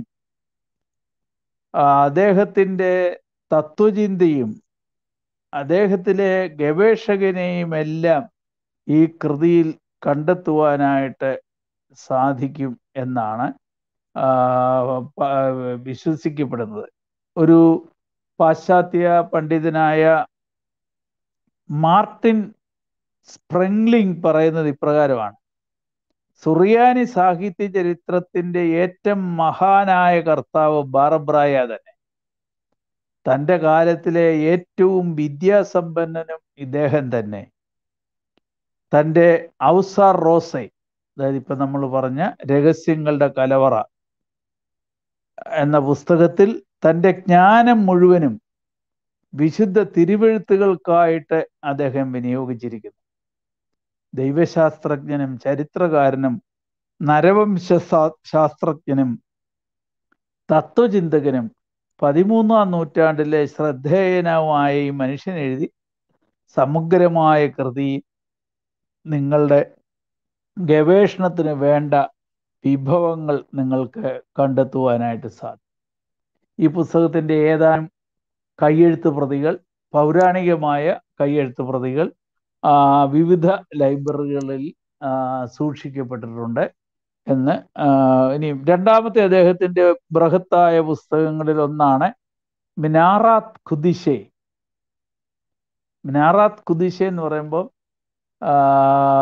ദ ലാംബ് ഓഫ് സാങ്ച്വറീസ്. അഞ്ഞൂറിലധികം പേജുകളുള്ള ഒരു ആധികാരിക ഗ്രന്ഥമാണ് ഇത്. അതിലെ ദൈവശാസ്ത്രവും പ്രകൃ പ്രകൃതിശാസ്ത്രവും അതിലെ അരിസ്റ്റോട്ടലിന്റെ ഉദ്ധരണികളൊക്കെ ചേർത്ത് ഈ അതുപോലെ തന്നെ വിരു വിശ്വാസവിരുദ്ധമായ തത്വചിന്തകൾ അവതരിപ്പിക്കുന്നതിനെ ഖണ്ഡിച്ചുകൊണ്ട് ഒക്കെ ഉള്ളതായ ഭാഗങ്ങളെല്ലാം ഈ പുസ്തകത്തിലുണ്ട്. പന്ത്രണ്ട് ഭാഗങ്ങളായിട്ടാണ് ഈ മിനാറാസ് കുദിശെ അദ്ദേഹം എഴുതിയിട്ടുള്ളത്. അതിൽ പറയുന്ന വിഷയങ്ങൾ എന്ന് പറയുന്നത് ജ്ഞാനം ദൈവത്തിന്റെ അസ്തിത്വം ലോകസൃഷ്ടി ദൈവത്തിന്റെ ഏകത്വവും തൃത്വവും മനുഷ്യാവതാരത്തിന്റെ നിഗൂഢ രഹസ്യം മാലാഖമാർ പിശാചുക്കൾ മനുഷ്യാത്മാവ് പട്ടത്വം വിധിയും ദൈവനിശ്ചയവും പുനരുത്ഥാനം പർദീസ എന്നീ വിഷയങ്ങളെല്ലാം ഈ പുസ്തകത്തിൽ അദ്ദേഹം പ്രതിപാദിക്കുന്നുണ്ട്. കുറെ അദ്ദേഹത്തിന്റെ കാലം മുതലിത് വൈദിക വിദ്യാർത്ഥികളുടെ പഠന ഗ്രന്ഥമായിട്ട് ഇതിനെ ഉപയോഗിച്ചു വരുന്നുണ്ട്. അറബി ഭാഷയിലും അതുപോലെ തന്നെ മറ്റ് ചില യൂറോപ്യൻ ഭാഷകളിലും ഒക്കെ ഈ പുസ്തകം പരിഭാഷപ്പെടുത്തിയിട്ടുമുണ്ട്. ഇനിയും ഇദ്ദേഹ ഈ പുസ്തകത്തിന്റെ ഒരു സമ്മറി അദ്ദേഹം എഴുതിയിട്ടുണ്ട്. ബൃഹത്തായ ഈ പുസ്തകത്തിന്റെ ഒരു സമ്മറി അതിനെ തോബോദ് സൽഗ് എന്നാണ് പറയുന്നത്. ദ ബുക്ക് ഓഫ് റേസ് അതായത് കിരണങ്ങളുടെ പുസ്തകം. അത് ഈ മുമ്പ് ഞാൻ പറഞ്ഞ പുസ്തകത്തിന്റെ ഒരു സംക്ഷിപ്ത രൂപമാണ്. അവിടെ അദ്ദേഹം വിവരിക്കുന്ന ഇതിനോട് ചേർന്ന് പറയുന്ന പല കാര്യങ്ങളുടെ മാമോദീസ വിശുദ്ധ മുറോൻ വിശുദ്ധ കുർബാനാർപ്പണം സ്വതന്ത്ര ചിന്തയും വിധിയും ദൈവനിശ്ചയവും അങ്ങനെയുള്ളതായ കാര്യങ്ങളെക്കുറിച്ചെല്ലാം മാർ അപ്രയും മഹാനായ ബെസേജിയോസ് ഗ്രീഗോറിയോസ് നീസായിലെ ഗ്രീഗോറിയോസ് സ്വർണനാവുകാരൻ കൂറിലോസ് അറിയഫാഗോസ് റൂഗിലെ യാക്കോബ് മാബൂഗിലെ പീലക്സിനോസ് അന്ത്യോക്യയിലെ സേവേറിയോസ് എഡേസായിലെ യാക്കോബ് മൂശെ ബർക്കീഫ എന്നിങ്ങനെയുള്ള മൽപ്പാന്മാരുടെ പുസ്തകങ്ങളെ അധികരിച്ചുകൊണ്ടാണ് അദ്ദേഹം ഈ സംക്ഷിപ്ത പുസ്തകം ഇറക്കിയിരിക്കുന്നത്. ഇനിയും ആ പുസ്തകത്തെക്കുറിച്ചൊക്കെ കൂടുതൽ പറയാനുണ്ട്. നമുക്ക് സമയമില്ലാത്തതുകൊണ്ട് അതിന്റെ വിശദാംശങ്ങളിലേക്ക് ഞാൻ കടക്കുന്നില്ല. അദ്ദേഹത്തിന്റെ നാലാമത്തെ പുസ്തകം എനിക്ക് ഞാൻ പറയാൻ ആഗ്രഹിക്കുന്നതാണ് ദ ക്രീം ഓഫ് വിസ്ഡം അതായത് അരിസ്റ്റോട്ടിലിന്റെ തത്വശാസ്ത്ര ഗ്രന്ഥത്തെ മുഴുവനായി ഉൾക്കൊണ്ടിച്ചുകൊണ്ടുള്ളതായ ഒരു തത്വശാസ്ത്ര രചനയാണ് ഈ പുസ്തകം. വളരെ ബൃഹത്താണ്. തൊള്ളായിരത്തി അൻപത്തിയൊന്ന് പേജുകളുള്ള രണ്ട് ബൃഹത്തായ വാല്യങ്ങൾ ഉൾക്കൊള്ളുന്നതാണ്. അപ്പൊ ഇത്രമാത്രം ഗഹനമായ ഒരു വിഷയത്തെക്കുറിച്ച് അദ്ദേഹം പറയുന്നുണ്ട്. അദ്ദേഹം അരിസ്റ്റോട്ടലിന്റെ ഒരു ആരാധകനായിരുന്നു എന്നുള്ളതിന് യാതൊരു സംശയവുമില്ല. അല്ലെങ്കിൽ തത്വശാസ്ത്രത്തിന്റെ ഒരു ആരാധകനും സ്വയം ഒരു തത്വജ്ഞാനിയുമായിരുന്നു. അത് നമ്മുടെ സാധാരണ ആളുകൾക്ക് അത്ര അടുപ്പമുള്ള വിഷയമല്ലാത്തതുകൊണ്ട് അതിന്റെ വിശദാംശങ്ങളിലേക്ക് കടക്കുവാനായിട്ട് ഞാൻ ആഗ്രഹിക്കുന്നില്ല. ഇനിയും അതിന്റെ തന്നെ തത്വശാസ്ത്രത്തിൽ തന്നെ വേറൊരു പുസ്തകം അദ്ദേഹത്തിന്റെതായിട്ടുണ്ട്. ഹേവാത് ഹേക്കംതോ എന്ന പുസ്തകത്തിന്റെ ഒരു സംക്ഷേപമായിട്ട് അദ്ദേഹം എഴുതിയിട്ടുള്ള ബൃഹത്തായ പുസ്തകം ചെറുതാക്കി അതിന്റെ ഒരു ചെറിയ വോളിയമായിട്ട് അദ്ദേഹം തയ്യാറാക്കിയിട്ടുണ്ട്. ആ പുസ്തകത്തിന്റെ പേര് കത്തോബോ ദ തെഗ്രാസ് തെഗ്രത്തോ എന്നാണ്. അത് ഞാൻ മുമ്പ് സൂചിപ്പിച്ചതുപോലെ തന്നെ ക്രീം ഓഫീസിലത്തിന്റെ ഒരു ചെറിയ പതിപ്പാണ്. ഇനിയും ആറാമതായിട്ട് പറയാനായിട്ടുള്ളത് അതും അരിസ്റ്റോട്ടിലിയൻ തത്വശാസ്ത്രത്തെ ആസ്പദമാക്കിയിട്ടുള്ള ഒരു ചെറിയ പുസ്തകമാണ്. ആ പുസ്തകത്തിന്റെ പേര് the book of speech of wisdom എന്നാണ്. ആ പുസ്തകം വളരെയധികം തത്വജ്ഞാനപരമായിട്ടുള്ളതിന്റെ വളരെ ഒരു ചെറിയ ഒരു പുസ്തകമായിട്ടാണ് അത് കാണപ്പെടുന്നത്. അതിലെ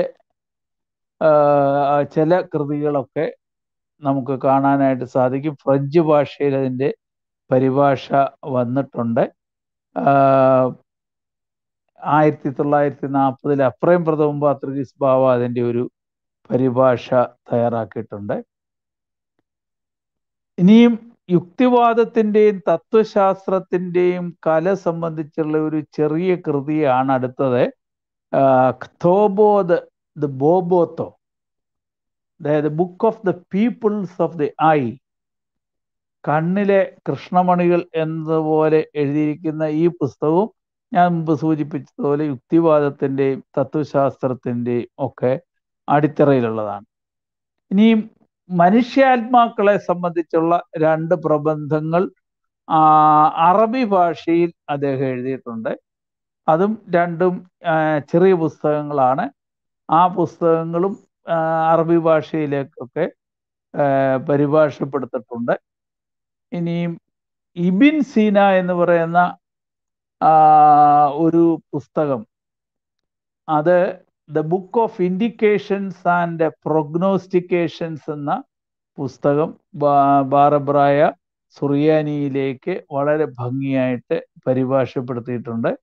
അദ്ദേഹത്തിന്റെ സുറിയാനി ഭാഷയിലുള്ള പരിജ്ഞാനവും പരിഭാഷ കലയിലുള്ള പരിജ്ഞാനവും വളരെ വ്യക്തമാക്കുന്ന ഒരു കൃതിയായിട്ടാണ് അദ്ദേഹം എഴുതിയിട്ടുള്ള വേറൊരു പുസ്തകത്തിന്റെ അതായത് ക്രോണോഗ്രഫി എന്ന് പറയുന്ന പുസ്തകത്തിൽ ഇതിനെ പറ്റി സൂചനകൾ ഉണ്ട്.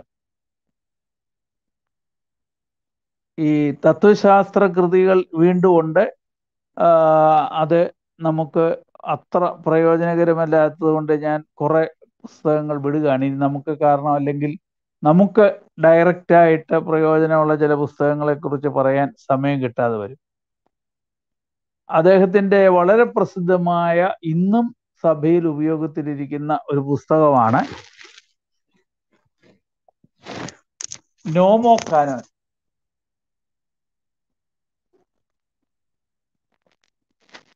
നോമോ കാനോൻ എന്ന് പറയുമ്പോൾ എല്ലാവർക്കും മനസ്സിലായെന്ന് വരികയില്ല. പക്ഷേ ഹൂതായ ഗാനം എന്ന് പറഞ്ഞാൽ എല്ലാവർക്കും മനസ്സിലാകും. നമ്മുടെ ഇന്നും സഭയുടെ അടിസ്ഥാന കാനോനായിട്ട് രൂപീകരിക്കപ്പെട്ടു പോരുന്നതാണ്. ഹുദായ കാനോൻ പത്ത് അധ്യായങ്ങൾ മലയാളത്തിലേക്ക് പരിഭാഷപ്പെടുത്തി പ്രസിദ്ധീകരിക്കാറുണ്ട്. കോനാട്ട് നിന്ന് ആദ്യകാലത്ത്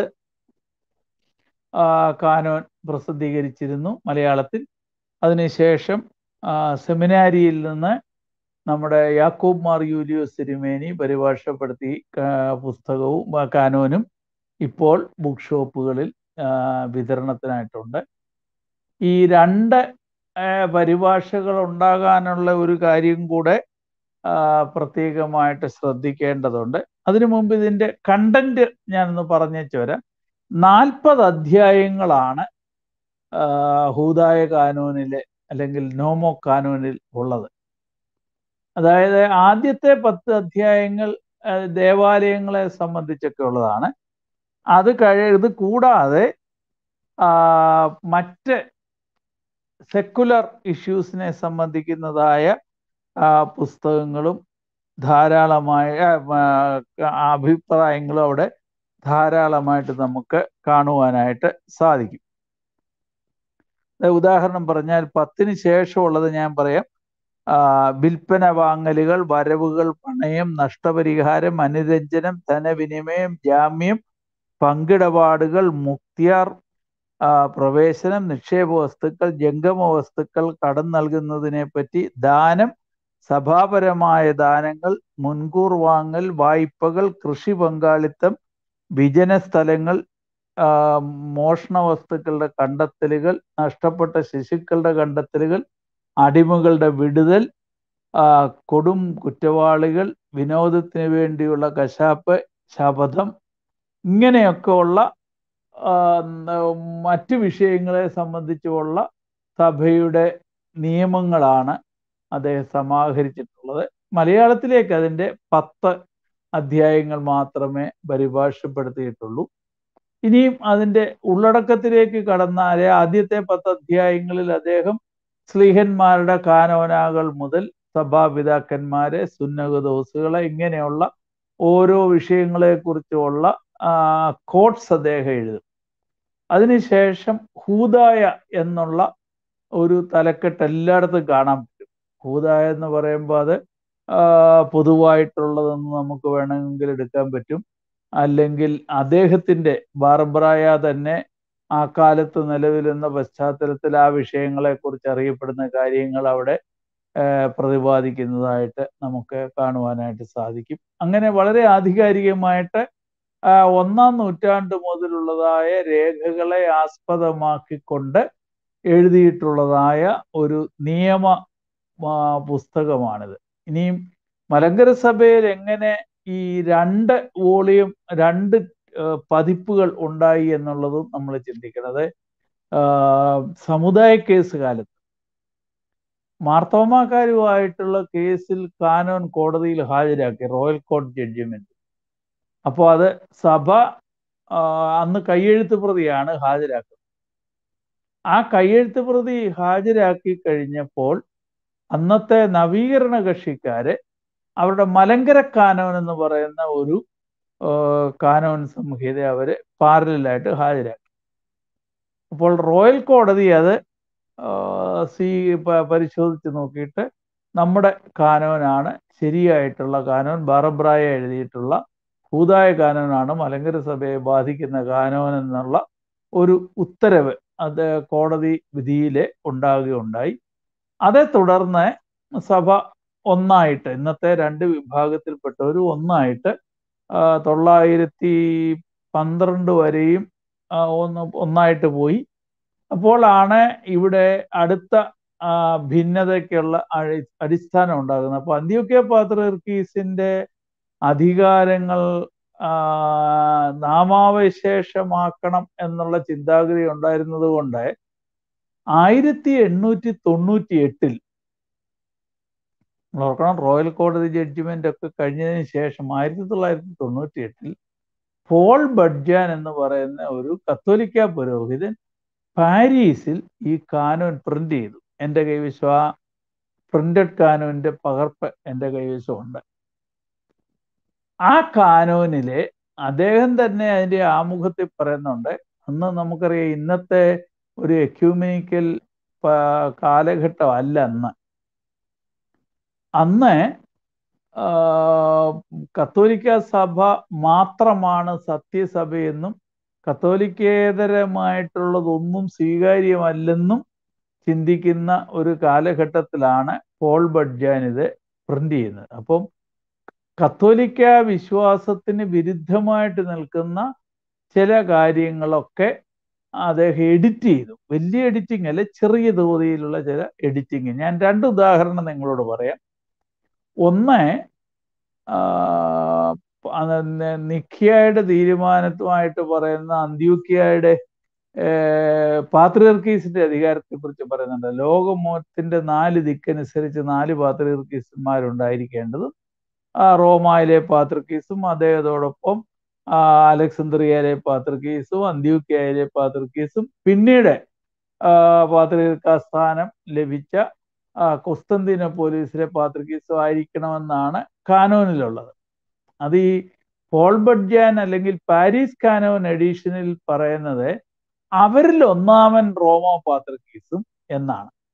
അപ്പം റോമ റീസ് പാത്രീർക്കീസ് എന്നുള്ള ഒരു കൺസെപ്റ്റ് അവിടെ കൊണ്ടുവരാൻ വേണ്ടി പോൾ ബഡ്ജാൻ നടത്തിയ ഞാൻ അദ്ദേഹത്തിന്റെ വിശ്വാസത്തോടുള്ളതായ നീതി പുലർത്താൻ വേണ്ടി. ഇന്നത്തെ രീതിയിലല്ലല്ലോ നമ്മളത് കാണേണ്ടത്. അന്നത്തെ അദ്ദേഹം വിശ്വസിച്ചിരുന്ന വിശ്വാസാചാരങ്ങളുടെ ആ ഒരു അടിസ്ഥാന അടിസ്ഥാനത്തിൽ നടത്തിയതായ ആ എഡിറ്റിങ്ങിന് ഭാഗമായിട്ടാണ് അങ്ങനെ ചേർത്തത്. ഇനി രണ്ടാമതായിട്ട് മൂറൻ കുദാശയെ കുറിച്ച് പറയുന്നിടത്ത് നമ്മുടെ പൗരാണിക കാനോനിലെ ബാറബറായുടെ കാലത്ത് പറയുന്നത് മുറൻകുദാശ നടത്താനുള്ള അധികാരം സഭയുടെ പ്രധാന മേലധ്യക്ഷന് മാത്രമെന്നാണ് അപ്പോൾ ഇത് പാരീസ് കാനോനിൽ വന്നപ്പോൾ കാതോലി പാത്രിക്കീസിനും കാതോലിക്കോസിനും മെത്രാന്മാർക്കും കൂതാശ ചെയ്യാവുന്നതായി. അപ്പോൾ ഇത് വ്യത്യാസം എന്നാന്ന് ചോദിച്ചാൽ കത്തോലിക്ക സഭയിൽ അങ്ങനെ. കാരണം കത്തോലിക്ക സഭയിലെ നമ്മുടെ മലങ്കര റീത്തുകാരൊക്കെ മെത്രാപ്പൊലിത്തന്മാർക്കും മൂറവും കൂതാശിയായി ഇപ്പൊ അവരങ്ങനെ ചെയ്യുന്നുണ്ടോ അതോ അവരുടെ പ്രധാന മേലധ്യക്ഷ നേതൃത്വത്തിലാണോ എന്ന് എനിക്ക് അറിഞ്ഞുകൂടാ. എന്നാൽ എന്റെ ഓർമ്മയിൽ മെത്രാപ്പൊലിത്തന്മാരും കൂതാശ ചെയ്യുന്ന അന്ന് അവർക്ക് ഒരു കാതോലിക്കോസ് ഇല്ല. അപ്പം രണ്ട് ആർച്ച് ബിഷപ്പുമാരാണുള്ളത് തിരുവനന്തപുരവും തിരുവല്ലയും. അപ്പോൾ അവർ ഈക്വൽ ആത്മീക സ്പിരിച്വൽ സ്റ്റാറ്റസ് ഈക്വലാ അപ്പോൾ അവരിലെ ആർക്കും ഊറം കുതാശ രീതിയിലാണ്. ഇപ്പോൾ കത്തോലിക്ക സഭയുടെ വിശ്വാസ പാരമ്പര്യങ്ങൾ അടങ്ങുന്ന ആ കാനോനാണ് അവരെ ഉപയോഗിക്കുന്നത്. ഇനി ഇത് മലങ്കര സഭയിൽ ഇങ്ങോട്ട് പകർത്തിയിട്ട് എന്താ സംഭവിച്ചെന്ന് നമുക്ക് നോക്കാം. ഈ പാരീസ് കാനോൻ മലങ്കരയിൽ സ്വീകരിച്ചപ്പോൾ അന്ത്യോക്യ അല്ല റോമ പാത്രീസിനെ റീഷ് പാത്രിക്കീസായിട്ട് നമ്മുടെ മെത്രാങ്കക്ഷി വിഭാഗം അംഗീകരിക്കുന്നില്ല. മുറം കൂതാശ ചെയ്യാനുള്ള അധികാരം മെത്രാപ്പൊലിത്തന്മാർക്കുണ്ടെന്ന് അവർ പറയുന്നില്ല. ഇങ്ങനെ അനേകം വ്യത്യാസങ്ങൾ അവിടെ ഇത് ഈ രംഗത്ത് നമുക്ക് കാണുവാനായിട്ട് സാധിക്കും. അപ്പോൾ മലങ്കര സഭയിലെ കക്ഷി വഴക്കുകളിൽ വളരെ പങ്കുള്ള ഒരു രേഖയാണ് പാത്ര ഈ ബാറബ്രായോ എഴുതിയ ഭൂതായ കാനോൻ. അത് പറയാൻ വേണ്ടിയിട്ടാണ് ഞാൻ ഇക്കാര്യം നിങ്ങളോട് പറഞ്ഞത്. അപ്പോൾ ആ ഹൂതായ കാനോൻ നമ്മുടെ ഹോളണ്ടിൽ നിന്നും യേശു ശീശക് തിരുമേനി നമ്മുടെ പൗരാണികമായ കാനോൻ തെറ്റുകളില്ലാതെ സുറിയാനി ഭാഷയിൽ പ്രസിദ്ധീകരിച്ചിട്ടുണ്ട്. അവസാനം സമയം കിട്ടുകയാണെങ്കിൽ ഞാൻ നിങ്ങളെ പെട്ടെന്ന് അതൊന്ന് കാണിക്കുകയും ചെയ്യാം. ഇനി അദ്ദേഹത്തിന്റെ മറ്റൊരു പ്രധാനപ്പെട്ട കൃതിയാണ് യൂത്തിക്കോൺ അതായത് എത്തിക്സ്. എത്തിക്സ് എന്ന് പറയുമ്പോൾ അത് നമ്മുടെ പ്രാർത്ഥനകളെക്കുറിച്ച് നോമ്പിനെ കുറിച്ച് നോമ്പനുഷ്ഠാനങ്ങളെ സംബന്ധിച്ച് ഭക്തിമാർഗങ്ങളെക്കുറിച്ചൊക്കെ ഉള്ളതായ വിശകലനമാണ് നമുക്ക് ഈ കൃതിയിൽ കാണുവാനായിട്ട് സാധിക്കുന്നത്. അപ്പോൾ ആ പുസ്തകത്തിന്റെ ഏതാനും ഭാഗങ്ങളൊക്കെ പരിഭാഷപ്പെടുത്തിയിട്ടുണ്ട്. എന്റെ കയ്യിൽ കുറച്ച് ഭാഗമുണ്ട്. ഇനി മറ്റൊന്നാണ് അദ്ദേഹത്തിന്റെ യൗനം. യൗനം എന്ന് പറയുന്ന സന്യാസ നിയമങ്ങളാണ്. സന്യാസിമാർ പാലിക്കേണ്ട നിയമങ്ങളെക്കുറിച്ചാണ് അവിടെ പറയുന്നത്. നീ അത് കഴിഞ്ഞിട്ട് നീ അടുത്തത് ബാർബറായ ഒരു ചരിത്രകാരനായിട്ട് വളരെയധികം അറിയപ്പെടുന്നു. ഇന്ന് എന്റെ ഈ പ്രസന്റേഷനിലെ അദ്ദേഹത്തിന്റെ തത്വജ്ഞാനപരമായിട്ടുള്ള കാര്യങ്ങളെക്കുറിച്ചാണ് ഞാൻ കൂടുതൽ അദ്ദേഹത്തിന്റെ കൃതികളെക്കുറിച്ച് പറഞ്ഞത്. അദ്ദേഹം ഒരു ചരിത്രകാരൻ എന്നുള്ളതിൽ വളരെ നിസ്തുലമായ സേവനം നടത്തിയിട്ടുള്ള ഒരാളാണ്. അദ്ദേഹത്തിന്റെ ബൃഹത്തായ ഒരു കൃതിയുണ്ട്. സുറിയാനി ഭാഷയിൽ എഴുതപ്പെട്ടിട്ടുള്ള ക്രോണോഗ്രഫി എന്ന് പറഞ്ഞാൽ ചരിത്രം. അതായത് ലോക ചരിത്രമാണ് ബാറബ്രായ എഴുതിയിരിക്കുന്നത്. അനേകം ആയിരത്തോളം പേജുകളുള്ള ഒരു പുസ്തകമാണ്. അത് എന്റെ കൈവശമുണ്ട്. ഞാൻ സമയം കിട്ടുമെങ്കിൽ അത് നിങ്ങളെ കാണിക്കാം. ഇനി അത് ലോകചരിത്രം. ഇനി അദ്ദേഹം വേറെ രണ്ട് ഭാഗങ്ങൾ അടങ്ങിയിട്ടുള്ള ഒരു സഭാചരിത്രം എഴുതിയിട്ടുണ്ട്. ആ സഭ രണ്ട് സഭാചരിത്രം എന്ന് പറയുമ്പോൾ അത് ഒന്ന് പേട്രിയാർക്കേറ്റിന്റെ ചരിത്രവും ഒന്ന് കാതോലിക്കേറ്റിന്റെ ചരിത്രവും. അദ്ദേഹത്തിന്റെ കാലഘട്ടം വരെയുള്ള സഭാചരിത്രം അദ്ദേഹം പാത്രിയർക്കേറ്റിന്റെയും കാതോലിക്കേറ്റിന്റെയും ചരിത്രം എഴുതുകയും പാത്രിയർക്കീസന്മാരുടെ ലിസ്റ്റുകൾ തയ്യാറാക്കുകയൊക്കെ ചെയ്തിട്ടുണ്ട്. ഈ ബാർബ്രായുടെ സഹോദരൻ ബർസൗമ ഒരു അദ്ദേഹത്തെ തുടർന്ന് കാതോലിക്കോസായി. അപ്പോൾ ബർസൗമ ബാർബ്രായയ്ക്ക് ശേഷം ആ ഈ അദ്ദേഹത്തിന്റെ സഭാചരിത്രത്തോട് ചില കൂ അദ്ദേഹം മരണാനന്തരം നടന്ന കാര്യങ്ങളെക്കുറിച്ച് അദ്ദേഹത്തിന്റെ ശവസംസ്കാരം അദ്ദേഹത്തിന്റെ കൃതികൾ ഈ കാര്യങ്ങളൊക്കെ കൂട്ടിച്ചേർത്ത് ഈ ബർസൗമ എഴുതിയിട്ടുണ്ട്. അപ്പൊ ഏകദേശം ഒരു പതിനാലാം നൂറ്റാണ്ട് വരെ ഉള്ളതായ ചരിത്രം അദ്ദേഹത്തിന്റെ ആ പുസ്തകത്തിൽ നമുക്ക് കാണുവാനായിട്ട് സാധിക്കും. അപ്പോൾ സഭാചരിത്ര രംഗത്ത് അദ്ദേഹം വളരെ പ്രശസ്തനായിട്ടുള്ള ഒരു വ്യക്തിയാണ്.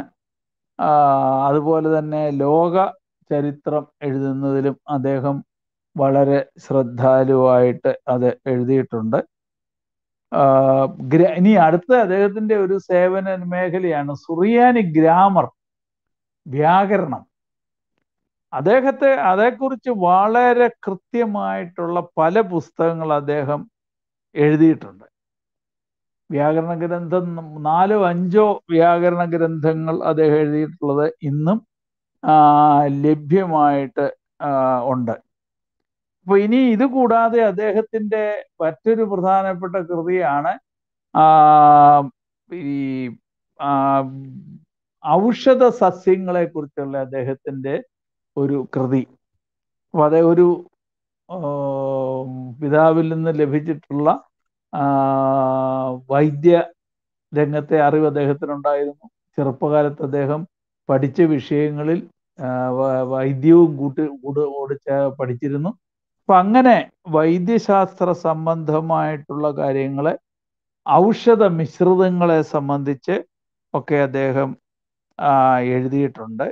ആ എഴുത്തുകളുമൊക്കെ പിന്നെ അദ്ദേഹം ഈ ജ്യോതിശാസ്ത്രത്തെക്കുറിച്ച് അദ്ദേഹം പുസ്തകം എഴുതിയിട്ടുണ്ട്. അപ്പൊ ഇങ്ങനെയാണ് ഇപ്പൊ ഇപ്പൊ തന്നെ നിങ്ങൾക്ക് മനസ്സിലായി കാണും. അദ്ദേഹത്തിന്റെ വൈജ്ഞാനിക സംഭാവന എന്ന് പറയുന്നത് ഞാൻ മുമ്പ് സൂചിപ്പിച്ച ഒരു കാര്യം തന്നെ പറയാം. ഒരു എൻസൈക്ലോപീഡിക് നോളജ് ഉള്ള ഒരു മനുഷ്യനാണ്. ഒരു വിഷയത്തിൽ മാത്രമല്ല പരന്ന വിഷയ വായനയിലൂടെ പഠനങ്ങളിലൂടെ വിവിധങ്ങളായ വിഷയങ്ങളെക്കുറിച്ച് വളരെ ആധികാരികമായിട്ട് പഠിച്ചു എന്ന് മാത്രമല്ല ഇന്നും അത് പ്രസക്തമായിട്ടുള്ള പല പുസ്തകങ്ങളും അദ്ദേഹം എഴുതിയിട്ടുണ്ട്. ഇനിയും ചില അദ്ദേഹത്തിന്റെ കവിതകളെ കുറിച്ചൊക്കെ പറയാനായിട്ട് ഞാൻ ആഗ്രഹിക്കുന്നില്ല. അദ്ദേഹത്തിന്റെ ഞായറാഴ്ചകളുടെ പ്രസംഗങ്ങളെ കുറിച്ചുള്ള പുസ്തകങ്ങളുണ്ട്. അപ്പൊ ഈ ഇതിലൊക്കെ അവസാനമായിട്ട് ഒരു കൃതിയെക്കുറിച്ച് കൂടെ പറയാൻ ഞാൻ ആഗ്രഹിക്കുക. അദ്ദേഹം എഴുതിയിട്ടുള്ള ഒരു കൃതിയാണ് നർമ്മ നർമ്മോക്തികൾ എഴുതിയിട്ടുള്ള ഒരു പുസ്തകം. അപ്പൊ എനിക്ക് അറിഞ്ഞുകൂടാ ഇത്രമാത്രം ധിഷണാശാലിയായ ഒരു സൈദ്ധാന്തികനും അതുപോലെ തത്വജ്ഞാനിയും സഭാചരിത്രകാരനും ഗ്രാ വ്യാകരണ പണ്ഡിതനും ജ്യോതിശാസ്ത്ര പണ്ഡിതനും അതുപോലെ തന്നെ വൈദ്യ രംഗത്തുള്ള വിജ്ഞാനിയുമായ ഒരാളെ ഇതിനിടയ്ക്ക് അദ്ദേഹത്തിന്റെ വ്യക്തിത്വത്തിലേക്ക് വിരൽ ചൂടുന്നുണ്ടെന്നാണ് അദ്ദേഹത്തിന്റെ നർമ്മോക്തികൾ. ഏകദേശം ഒരു ഇന്നത്തെ പ്രിന്റഡ് ബുക്കിൽ പറഞ്ഞാൽ ഒരു നൂറ് നൂറ്റി അൻപത് പേജ് വരുന്ന നർമ്മ വിജ്ഞാന ശകലങ്ങൾ അദ്ദേഹം അവിടെ രേഖപ്പെടുത്തിയിട്ടുണ്ട്. അതിലെ തമാശ ഒരു ഒരു നമുക്ക് ഇന്നത്തെ ലോകത്തും നമുക്ക് മനസ്സിലാക്കാൻ സാധിക്കുന്ന ഒരു ഒരു ഒരു കാര്യം ഞാൻ ഉദാഹരണം പറയാം. മദ്യപാനികളെ കുറിച്ച് അദ്ദേഹം എഴുതിയിട്ടുണ്ട് അതായത് പതിമൂന്നാം നൂറ്റാണ്ടിലെ മദ്യപാനിയും ഇരുപത്തൊന്നാം നൂറ്റാണ്ടിലെ മദ്യപാനിയും തമ്മിൽ വലിയ വ്യത്യാസമില്ലെന്ന് അദ്ദേഹത്തിന്റെ ഈ പുസ്തകം വായിക്കുമ്പോൾ നമുക്ക് മനസ്സിലാകും. അദ്ദേഹം മദ്യപാനിയെ കുറിച്ച് പറയുന്നത് കുയിൽ മയിലെ കുരങ്ങ് പന്നി ഈ നാല് ജീവികളുടെ അവസ്ഥയിലേക്ക് പോകുമെന്നാണ് അവർ അതായത് മദ്യം അകത്തോട്ട് ചെന്ന് കഴിഞ്ഞാൽ പാട്ട് പാടും. ഈ പണ്ടൊക്കെ ഈ കള്ളുഷാപ്പിന്റെ മുന്നിലൂടെ നമ്മൾ നടന്നു പോകുമ്പോൾ നമ്മൾ കേൾക്കുന്നതാണ് പാട്ട്. എന്റെ വീടിന്റെ അവിടെ ആ കാലത്ത് ഇവിടെ ഇലക്ട്രിസിറ്റി ഒക്കെ വരുന്നതിന് മുമ്പ് വൈകിട്ട് ഈ മദ്യപിച്ചിട്ട് പോകുന്ന ആളുകൾ വലിയ ഉറക്ക പാട്ടൊക്കെ പാടി ഇങ്ങനെ വഴിയെ പോകുന്നത് എന്റെ ഓർമ്മയിലുണ്ട്. എന്ന് പറഞ്ഞ പോലെ നിങ്ങളുടെയും ശ്രോതാക്കൾക്കൊക്കെ പരിചയമുള്ള ഒരു കാര്യമാണ്. അവരെ കുയിലിനെ പോലെ പാടും തുടങ്ങുന്ന സമയത്ത്. ഇനി മദ്യം കുറെ കൂടെ കൂടിക്കഴിഞ്ഞാൽ അവരെന്നാ ചെയ്യും? മയിലിനെ പോലെ ആടാൻ തുടങ്ങും. അതായത് പീലി വിടർത്തി ആ എന്റെ വീട്ടിലെ ഞാൻ ഇംഗ്ലീഷിലാണ് ആ പഴഞ്ചൊല്ലിന് കൂടുതൽ പ്രസക്തിയുള്ളത്. Even their copper kettles are made of gold എന്നുള്ള ഒരു മനോഭാവം വരും. വീട്ടിലെ ചെമ്പ് പാത്രം പോലും സ്വർണം കൊണ്ടുണ്ടാക്കിയതാണ് എന്ന് വീമ്പിളക്കുന്ന ആളുകൾ. അപ്പം ഇല്ലാത്ത കാര്യങ്ങൾ ഉണ്ടെന്നും ഉള്ളത് വിപുലീകരിച്ചുമൊക്കെ പറയുന്ന ആ മയിലാടുന്നത് പോലെ നിറഞ്ഞാടുന്ന ഒരു രണ്ടാമത്തെ സ്റ്റേജ് മൂന്നാമത്തെ സ്റ്റേജ് ആകുമ്പോഴത്തേക്ക് ആൾ കുഴയാൻ തുടങ്ങും. കുഴയാൻ തുടങ്ങിയിട്ട് ഈ ഒരു കുരങ്ങിനെ പോലെ നമ്മൾ കാണിക്കുന്നത് മറ്റുള്ളവർ കാണിക്കുന്ന പോലൊക്കെ കാണിക്കാൻ ശ്രമിക്കും. പക്ഷേ അതെല്ലാം വികൃതിയായിട്ട് തീരും. ഭക്ഷണം കഴിക്കുന്നത് പോലും നേരാവണ്ണം കഴിക്കാൻ പാടില്ലാതെ വരും. അടുത്ത സ്റ്റേജ് എന്ന് പറയുന്നതാണ് പന്നി. അവിടെ മദ്യവും അമേദ്യവും എല്ലാം ഒരുപോലെ തോന്നും അതിന്റെ ഇതിന്റെ അകത്ത് കിടന്ന് ഉറങ്ങുന്നതിനും ഛർദിക്കാതെ കിടന്ന് ഉറങ്ങുന്ന അവസ്ഥയെന്ന് നമ്മൾ കേട്ടിട്ടുണ്ട് കണ്ടിട്ടുണ്ട്. അപ്പൊ ഇത് ബാറബ്രായയുടെ നർമ്മോക്തികളിൽ എന്ന് പറയുന്ന പുസ്തകത്തിലെ ഒരു കഥയാണ് ഞാൻ നിങ്ങളോട് പറഞ്ഞത്. ഇപ്പൊ നിങ്ങൾക്ക് മനസ്സിലായി കാണും. ഇത് നർമ്മമുണ്ട് പക്ഷേ ആ നർമ്മത്തിന്റെ ഉള്ളിൽ ഒരു വലിയ സത്യം കൂടെ ഉൾപ്പെടുത്തിക്കൊണ്ടാണ് ബാറബ്രായ ഈ പുസ്തകത്തിൽ ഇരുന്നൂറ്റി ശിഷ്ടം ഇതുപോലെയുള്ളതായ കാര്യങ്ങളെ കുറിച്ച് പറയുന്നത്. അത് ഇംഗ്ലീഷിലേക്ക് അത് പൂർണമായിട്ട് പരിഭാഷപ്പെടുത്തിയിട്ടുണ്ട്. അപ്പൊ ഇതാണ് ബാറബ്രായെ കുറിച്ച് പൊതുവെ ചില കാര്യങ്ങൾ എനിക്ക് പറയാനായിട്ടുള്ളത്. ഇനി ബാറബ്രായ കൃതികൾ ചിലത് നിങ്ങളെ ഒന്ന് കാണിക്കാൻ ഞാൻ ആഗ്രഹിക്കുക അത് എനിക്ക് നിങ്ങൾക്കും എല്ലാം ഇത് വായിച്ച് മനസ്സിലാക്കാനൊക്കെ പ്രയാസമായിരിക്കും. പക്ഷേ നമ്മളിവിടെ ഇതിന്റെ അകത്ത് പറഞ്ഞതാ പറഞ്ഞിട്ടുള്ളതായ കാര്യങ്ങളൊക്കെയാണ്. Chronography of Bar Hebraeus. അതായത് മെക്തബിനു സബിനെ കാലങ്ങളുടെ രേഖകളാണ് ഇവിടെ കാണുന്നത്. ഇതിന്റെ ഇംഗ്ലീഷ് പരിഭാഷയുണ്ട്. യൂറോപ്യൻ പണ്ഡിതനായ വാലിസ് ബുഡ്ജ് എന്ന് പറയുന്ന ആൾ ഈ പുസ്തകം പരിഭാഷപ്പെടുത്തിയിട്ടുണ്ട്. ഇതിന്റെ ഇംഗ്ലീഷ് ഹെഡിങ് നിങ്ങൾക്ക് കാണാൻ പറ്റും. ഈ പുസ്തകമാണ് ഞാൻ മുമ്പ് പറഞ്ഞ ക്രോണോഗ്രഫി. ഈ പുസ്തകം നിങ്ങൾ അകത്തോട്ട് നോക്കിയാൽ കാണാൻ പറ്റുമെന്നാണ് എന്റെ വിശ്വാസം. ഇത് ടൈപ്പ് സെറ്റ് അല്ലെ കമ്പ്യൂട്ടർ പ്രിന്റ് അല്ലിത്. ഇത് നമ്മുടെ കാലത്ത് ജീവിച്ചിരുന്ന ഒരു മെത്രാപ്പൊലിത്തയുടെ ഹാൻഡ് റൈറ്റിംഗ് ആ അദ്ദേഹത്തിന്റെ പേരാണ് ഹോളണ്ടിലെ ശീശക് യൂലിയോ സേശു ശീശക് തിരുമേനി. അദ്ദേഹം ഇത് മുഴുവൻ കൈകൾ കൊണ്ട് എഴുതി അദ്ദേഹത്തിന്റെ എത്ര മനോഹരമായ കൈപ്പടയാണെന്ന് നിങ്ങൾ നോക്കി സുറിയാനി അറിയാൻ മേലാത്തവർക്കും ഇതിന്റെ ഒരു പിക്ചറസ്ക് ആയിട്ടുള്ള ഇത് കാണാനായിട്ട് സാധിക്കും. ഒരു ഇത് കൂടാതെ നല്ല ഭംഗിയായിട്ട് പ്രിന്റ് ചെയ്തിരിക്കുന്നത് പോലെ അതിമനോഹരമായിട്ട് അദ്ദേഹം ഈ പുസ്തകം എടുത്ത് എഴുതിയിട്ട് അത് പിന്നെ അതിന് പറയുന്നത് എനിക്കറിഞ്ഞു സ്കാൻ ചെയ്ത് അത് പ്രിന്റ് ചെയ്ത് അദ്ദേഹം ജീവിച്ചിരുന്ന കാലത്ത് ഹോളണ്ടിലെ അരമനയോട് ചേർന്ന് ബാറബ്രോയോ പ്രസ് എന്ന് പറഞ്ഞൊരു പ്രസ് ഉണ്ടായിരുന്നു. ആ പ്രസ്സിൽ അദ്ദേഹം അടുപ്പിച്ച് പ്രസിദ്ധീകരിച്ചതായ ഒരു പുസ്തകമാണ് ഞാൻ നിങ്ങളെ കാണിച്ചത്. സൽഗെ. വേറൊരു പുസ്തകമാണ് സൽഗെ. ഞാൻ മുമ്പ് പറഞ്ഞ കിരണങ്ങൾ എന്ന് പറഞ്ഞ അദ്ദേഹത്തിന്റെ ബാറബ്രായുടെ അത് സുറിയാനിയാണ് ശീശക് തിരുമേനി പബ്ലിഷ് ചെയ്തതാണ്. ഇനി അടുത്തതാണ് ഞാൻ നിങ്ങളോട് പറഞ്ഞ മിനാറത്ത് ഞാൻ എന്റെ ഇംഗ്ലീഷ് ടൈപ്പിൽ എഴുതിയിരിക്കുന്നത് കാണിക്കാം മിനാറാത്ത് കുതിശേ. അപ്പോൾ ഇനിയും മറ്റൊരു കാര്യമുള്ളത് നമ്മുടെ ഞാൻ നിങ്ങളോട് യൗനോ എന്നൊരു പുസ്തകം സന്യാസ നിയമങ്ങളെ കുറിച്ച് പറഞ്ഞു. അത് മലയാളത്തിലേക്ക് പരിഭാഷപ്പെടുത്തിയിട്ടുണ്ട്. അത് ഇപ്പൊ പുസ്തകങ്ങൾ മേടിക്കാൻ കിട്ടത്തില്ല. അത് മലയാളത്തിലേക്ക് പരിഭാഷപ്പെടുത്തിയത് യാക്കൂബ് മാർ യൂലിയോസ് മെത്രാപ്പൊലിത്ത മഞ്ഞിനിക്കര തയ്യാറായിൽ കവറടങ്ങിയിരിക്കുന്ന തിരുമേനിയാണ്. ഇത് ബാറബ്രായയുടെ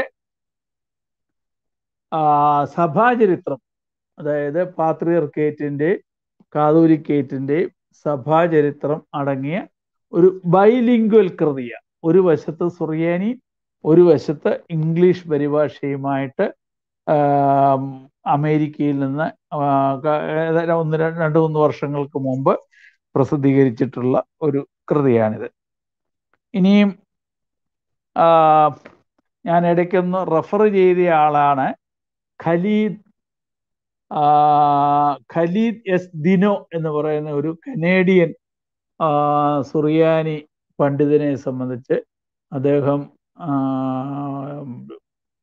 സെക്കുലർ വിഷയത്തിൽ ഡോക്ടറേറ്റ് ഉള്ള ആളാണ് അത് കഴിഞ്ഞിട്ട് സുറു ഇത് ഇതുമായിട്ട് ഈ പുസ്തകമായിട്ടുള്ള ഗവേഷണത്തിൽ അദ്ദേഹത്തിന് വീണ്ടും ഡോക്ടറേറ്റ് ഒക്കെ കിട്ടിയിട്ടുള്ള ആളാണ് ഖലീദ്ദിനോ.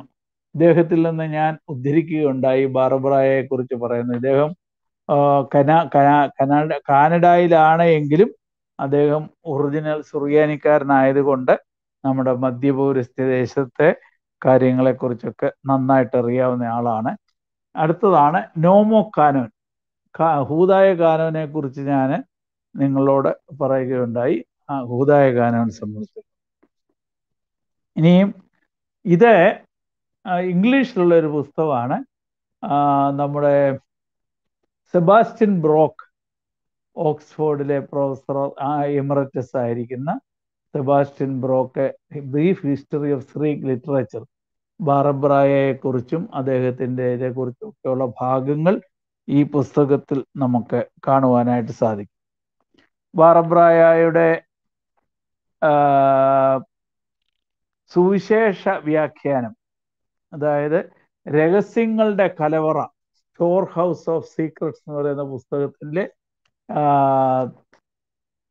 നാല് സുവിശേഷങ്ങളുടെ വ്യാഖ്യാനം ഞാൻ അന്നേരം നിങ്ങളോട് പറഞ്ഞിരുന്നു പെഷീത്ത കൂടാതെ അദ്ദേഹം ഇതര പരിഭാഷകളും കൂടെ ഒക്കെ ആശ്രയിച്ച് എഴുതിയിട്ടുള്ള ഒരു വളരെ ലിംഗ്വിസ്റ്റായിട്ട് ഒരു ലിംഗ്വിസ്റ്റ് എന്നുള്ള നിലയിലുള്ള കമ്പാരിറ്റീവ് സ്റ്റഡി നടത്തി ഇറക്കിയിട്ടുള്ള ഒരു വ്യാഖ്യാന പുസ്തകമാണ്. അതിന്റെ അതിന്റെ സുവിശേഷ ഭാഗമാണ് അവിടെ നമ്മൾ കണ്ടത്. ആ യൂത്തിക്കോൺ. അതായത് അദ്ദേഹത്തിന്റെ എത്തിക്സ് എന്ന് പറയുന്ന പുസ്തകത്തിന്റെ ഏതാനും ഭാഗങ്ങളുടെ പരിഭാഷയാണ് ഈ പുസ്തകം. ഇത് ഞാൻ ജർമ്മനിയിൽ പഠിച്ചുകൊണ്ടിരുന്ന കാലത്ത് അവിടെ ഫോട്ടോ കോപ്പി എടുത്തിട്ടുള്ള ഒരു പുസ്തകമാണ്. ഇതാണ് ഞാൻ മുമ്പ് പറഞ്ഞ ക്രോണോഗ്രഫിയുടെ ഇംഗ്ലീഷ് പരിഭാഷ. വാലിസ് ബുഡ്ജ് എന്ന് പറയുന്ന ഒരു ഓറിയന്റലിസ്റ്റ് എഴുതി തയ്യാറാക്കിയിട്ടുള്ള ഒരു പുസ്തകമാണ് അത്. അതിന് കുറെ ഇംഗ്ലീഷ് പരിഭാഷയും ഉള്ളതാണ്. ഇനി നമുക്ക് കാണാൻ സാധിക്കുന്നത് ആ ക്രോണിക്കോൺ എക്ലീഷ്യാസ്റ്റിക്കും ഞാൻ നിങ്ങളെ മുമ്പേ കാണിച്ചല്ലോ. അതിന്റെ ഇംഗ്ലീഷ് ബൈലിംഗ്വൽ ടെക്സ. ഇത് ആദ്യമായിട്ട് ഈ ബാറബ്രായയുടെ സഭാചരിത്രം പരിഭാഷപ്പെടുന്നത് അബെലു സൻലാമി എന്ന് പറയുന്ന രണ്ട് പണ്ഡിതന്മാർ ചേർന്നാണ്. അവരും ബൈലിംഗ്വലായിട്ടാണ് ഇറക്കിയത്. അതിലെ ഒരു ഭാഗത്ത് കാണുന്നത് ലാറ്റിൻ പരിഭാഷയാണ്. ഒരു വശത്ത് സുറിയാനി പരിഭാഷയെ നമുക്ക് കാണാൻ സാധിക്കും. ചില ഇന്നാക്യുറസീസ് ഒക്കെ ഉണ്ടായിരുന്നത് മറ്റേ പുസ്തകത്തിൽ കറക്റ്റ് ചെയ്തിട്ടുള്ളതായിട്ട് നമുക്ക് കാണുവാൻ സാധിക്കും. ഇനിയും ബാറബ്രായയുടെ യൗനം അല്ലെങ്കിൽ പ്രാവ് എന്ന് പറയുന്ന പുസ്തകത്തിന്റെ ഇംഗ്ലീഷ് പരിഭാഷയാണ് ഈ കാണുന്നത്. അത് ഒരു വെൻസിങ് എന്ന് പറയുന്ന ഒരു പണ്ഡിതൻ ആയിരത്തി തൊള്ളായിരത്തി പത്തൊമ്പതിൽ ഇംഗ്ലീഷിൽ പരിഭാഷപ്പെടുത്തിയതാണ്. യൂലിയോ സിരിമേനി അത് സുറിയാനിയിൽ നിന്ന് നേരിട്ട് പരിഭാഷപ്പെടുത്തുകയാണ് ചെയ്തിട്ടുള്ളത്. ഇതുപോലെ ഇനിയും അദ്ദേഹത്തിന്റെ പുസ്തകങ്ങളെ കുറിച്ചൊക്കെ പലതുണ്ട്. എന്റെ ഈ ഇനി ഞാനത് ദീർഘിപ്പിക്കാനായിട്ട് ആഗ്രഹിക്കുന്നില്ല. ഇപ്പോൾ തന്നെ പത്ത് മണിയായിരിക്കുകയാണ്.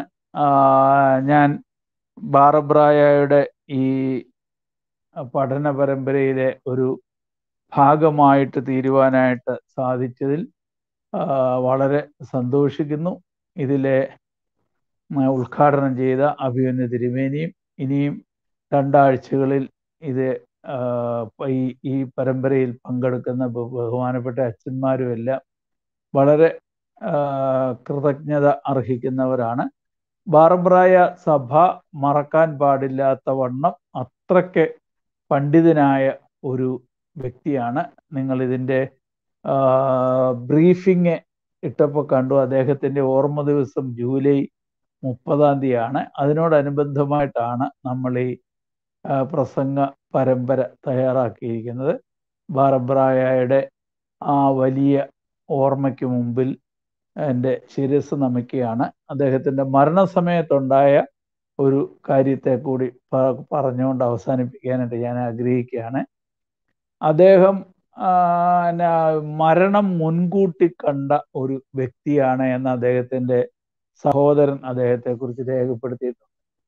അപ്പോൾ ആ മരണത്തോടടുത്ത സമയത്ത് അദ്ദേഹത്തിന്റെ ജീവൻ രക്ഷിക്കാൻ വേണ്ടിയിട്ടും അദ്ദേഹത്തെ ചികിത്സിക്കാനും ഒക്കെ ആയിട്ട് ഉള്ള ചില പരിശ്രമങ്ങളൊക്കെ നടത്തിയപ്പോൾ അദ്ദേഹം പറഞ്ഞു എനിക്ക് എന്റെ ആ ഒരു കാലഘട്ടം അവസാനിക്കുകയാണ്. ദൈവത്തെങ്കിലേക്ക് പോകുന്നു എന്നുള്ളതായ ബോധ്യം എനിക്കുണ്ട്. അതുകൊണ്ട് ഇനി നിങ്ങൾ എന്നെ അവിടെയൊന്നും ഒരിടത്തും കൊണ്ടുപോവുകയോ സ്ഥലം മാറ്റുകയോ ആരെയും ബുദ്ധിമുട്ടിക്കുകയോ ചെയ്യേണ്ട കാര്യമില്ല എന്ന് പറഞ്ഞു. അദ്ദേഹം വളരെ വലിയ പ്രത്യാശയോടെ അദ്ദേഹത്തിന്റെ മുഖം ശോഭിച്ചു എന്നാണ് അദ്ദേഹത്തിന്റെ ചരിത്രകാരൻ അദ്ദേഹത്തെക്കുറിച്ച് എഴുതിയിരിക്കുന്നത്. ശോഭിയേറിയ മുഖത്തോടുകൂടി അദ്ദേഹം ഈ ലോകത്തിൽ നിന്ന് യാത്രയായി. ബാറബ്രായ എന്ന ആ നിത്യപ്രചോദനമായിരിക്കുന്ന ആ പിതാവിനെ സഭാമക്കൾ കൂടുതൽ അടുത്തറിയുവാനും മനസ്സിലാക്കുവാനും ഉപയോഗിക്കണം എന്ന് മാത്രം പറഞ്ഞുകൊണ്ട് ബാർബ്രായയുടെ കൃതികൾ അനേകം പരിഭാഷപ്പെടുത്താനായിട്ടുണ്ട്. അദ്ദേഹത്തിന്റെ ഭാഷ വളരെ ക്ലിഷ്ടമാണ് സുറിയാനി. അതുകൊണ്ട് നല്ല പണ്ഡിതന്മാരായിട്ടുള്ള ആളുകൾക്ക് മാത്രമേ അത് പരിഭാഷപ്പെടുത്താനായിട്ട് സാധിക്കുകയുള്ളൂ. അങ്ങനെയുള്ളവർ നമ്മുടെ സഭയിൽ ഉണ്ടാകട്ടെ. ബാറബ്രായയുടെ കൃതികൾ മലയാളത്തിലും ഇംഗ്ലീഷിലും ഒക്കെ കൂടുതലായിട്ടുണ്ടാകട്ടെ എന്ന് പ്രാർത്ഥിക്കുകയും ആശംസിക്കുകയും ചെയ്യുന്നു. ഹൈമോനുത്തോയുടെ എല്ലാ പ്രവർത്തകർക്കും നന്ദിയും സ്നേഹവും ആദരവും അറിയിക്കുകയും ചെയ്തുകൊണ്ട് എന്റെ വാക്കുകൾ ചുരുക്കുന്നു. ദൈവം നമ്മെ എല്ലാവരെയും അനുഗ്രഹിക്കട്ടെ. അത് നമ്മുടെ കാവൽ മധ്യസ്ഥനായിരിക്കുന്ന നീതിമാനും പുണ്യവാനും പരിശുദ്ധനുമായ മോർ ഗ്രിഗോറിയസ് ബാറബറായയുടെ പ്രാർത്ഥനകളാൽ തന്നെ. ആമേ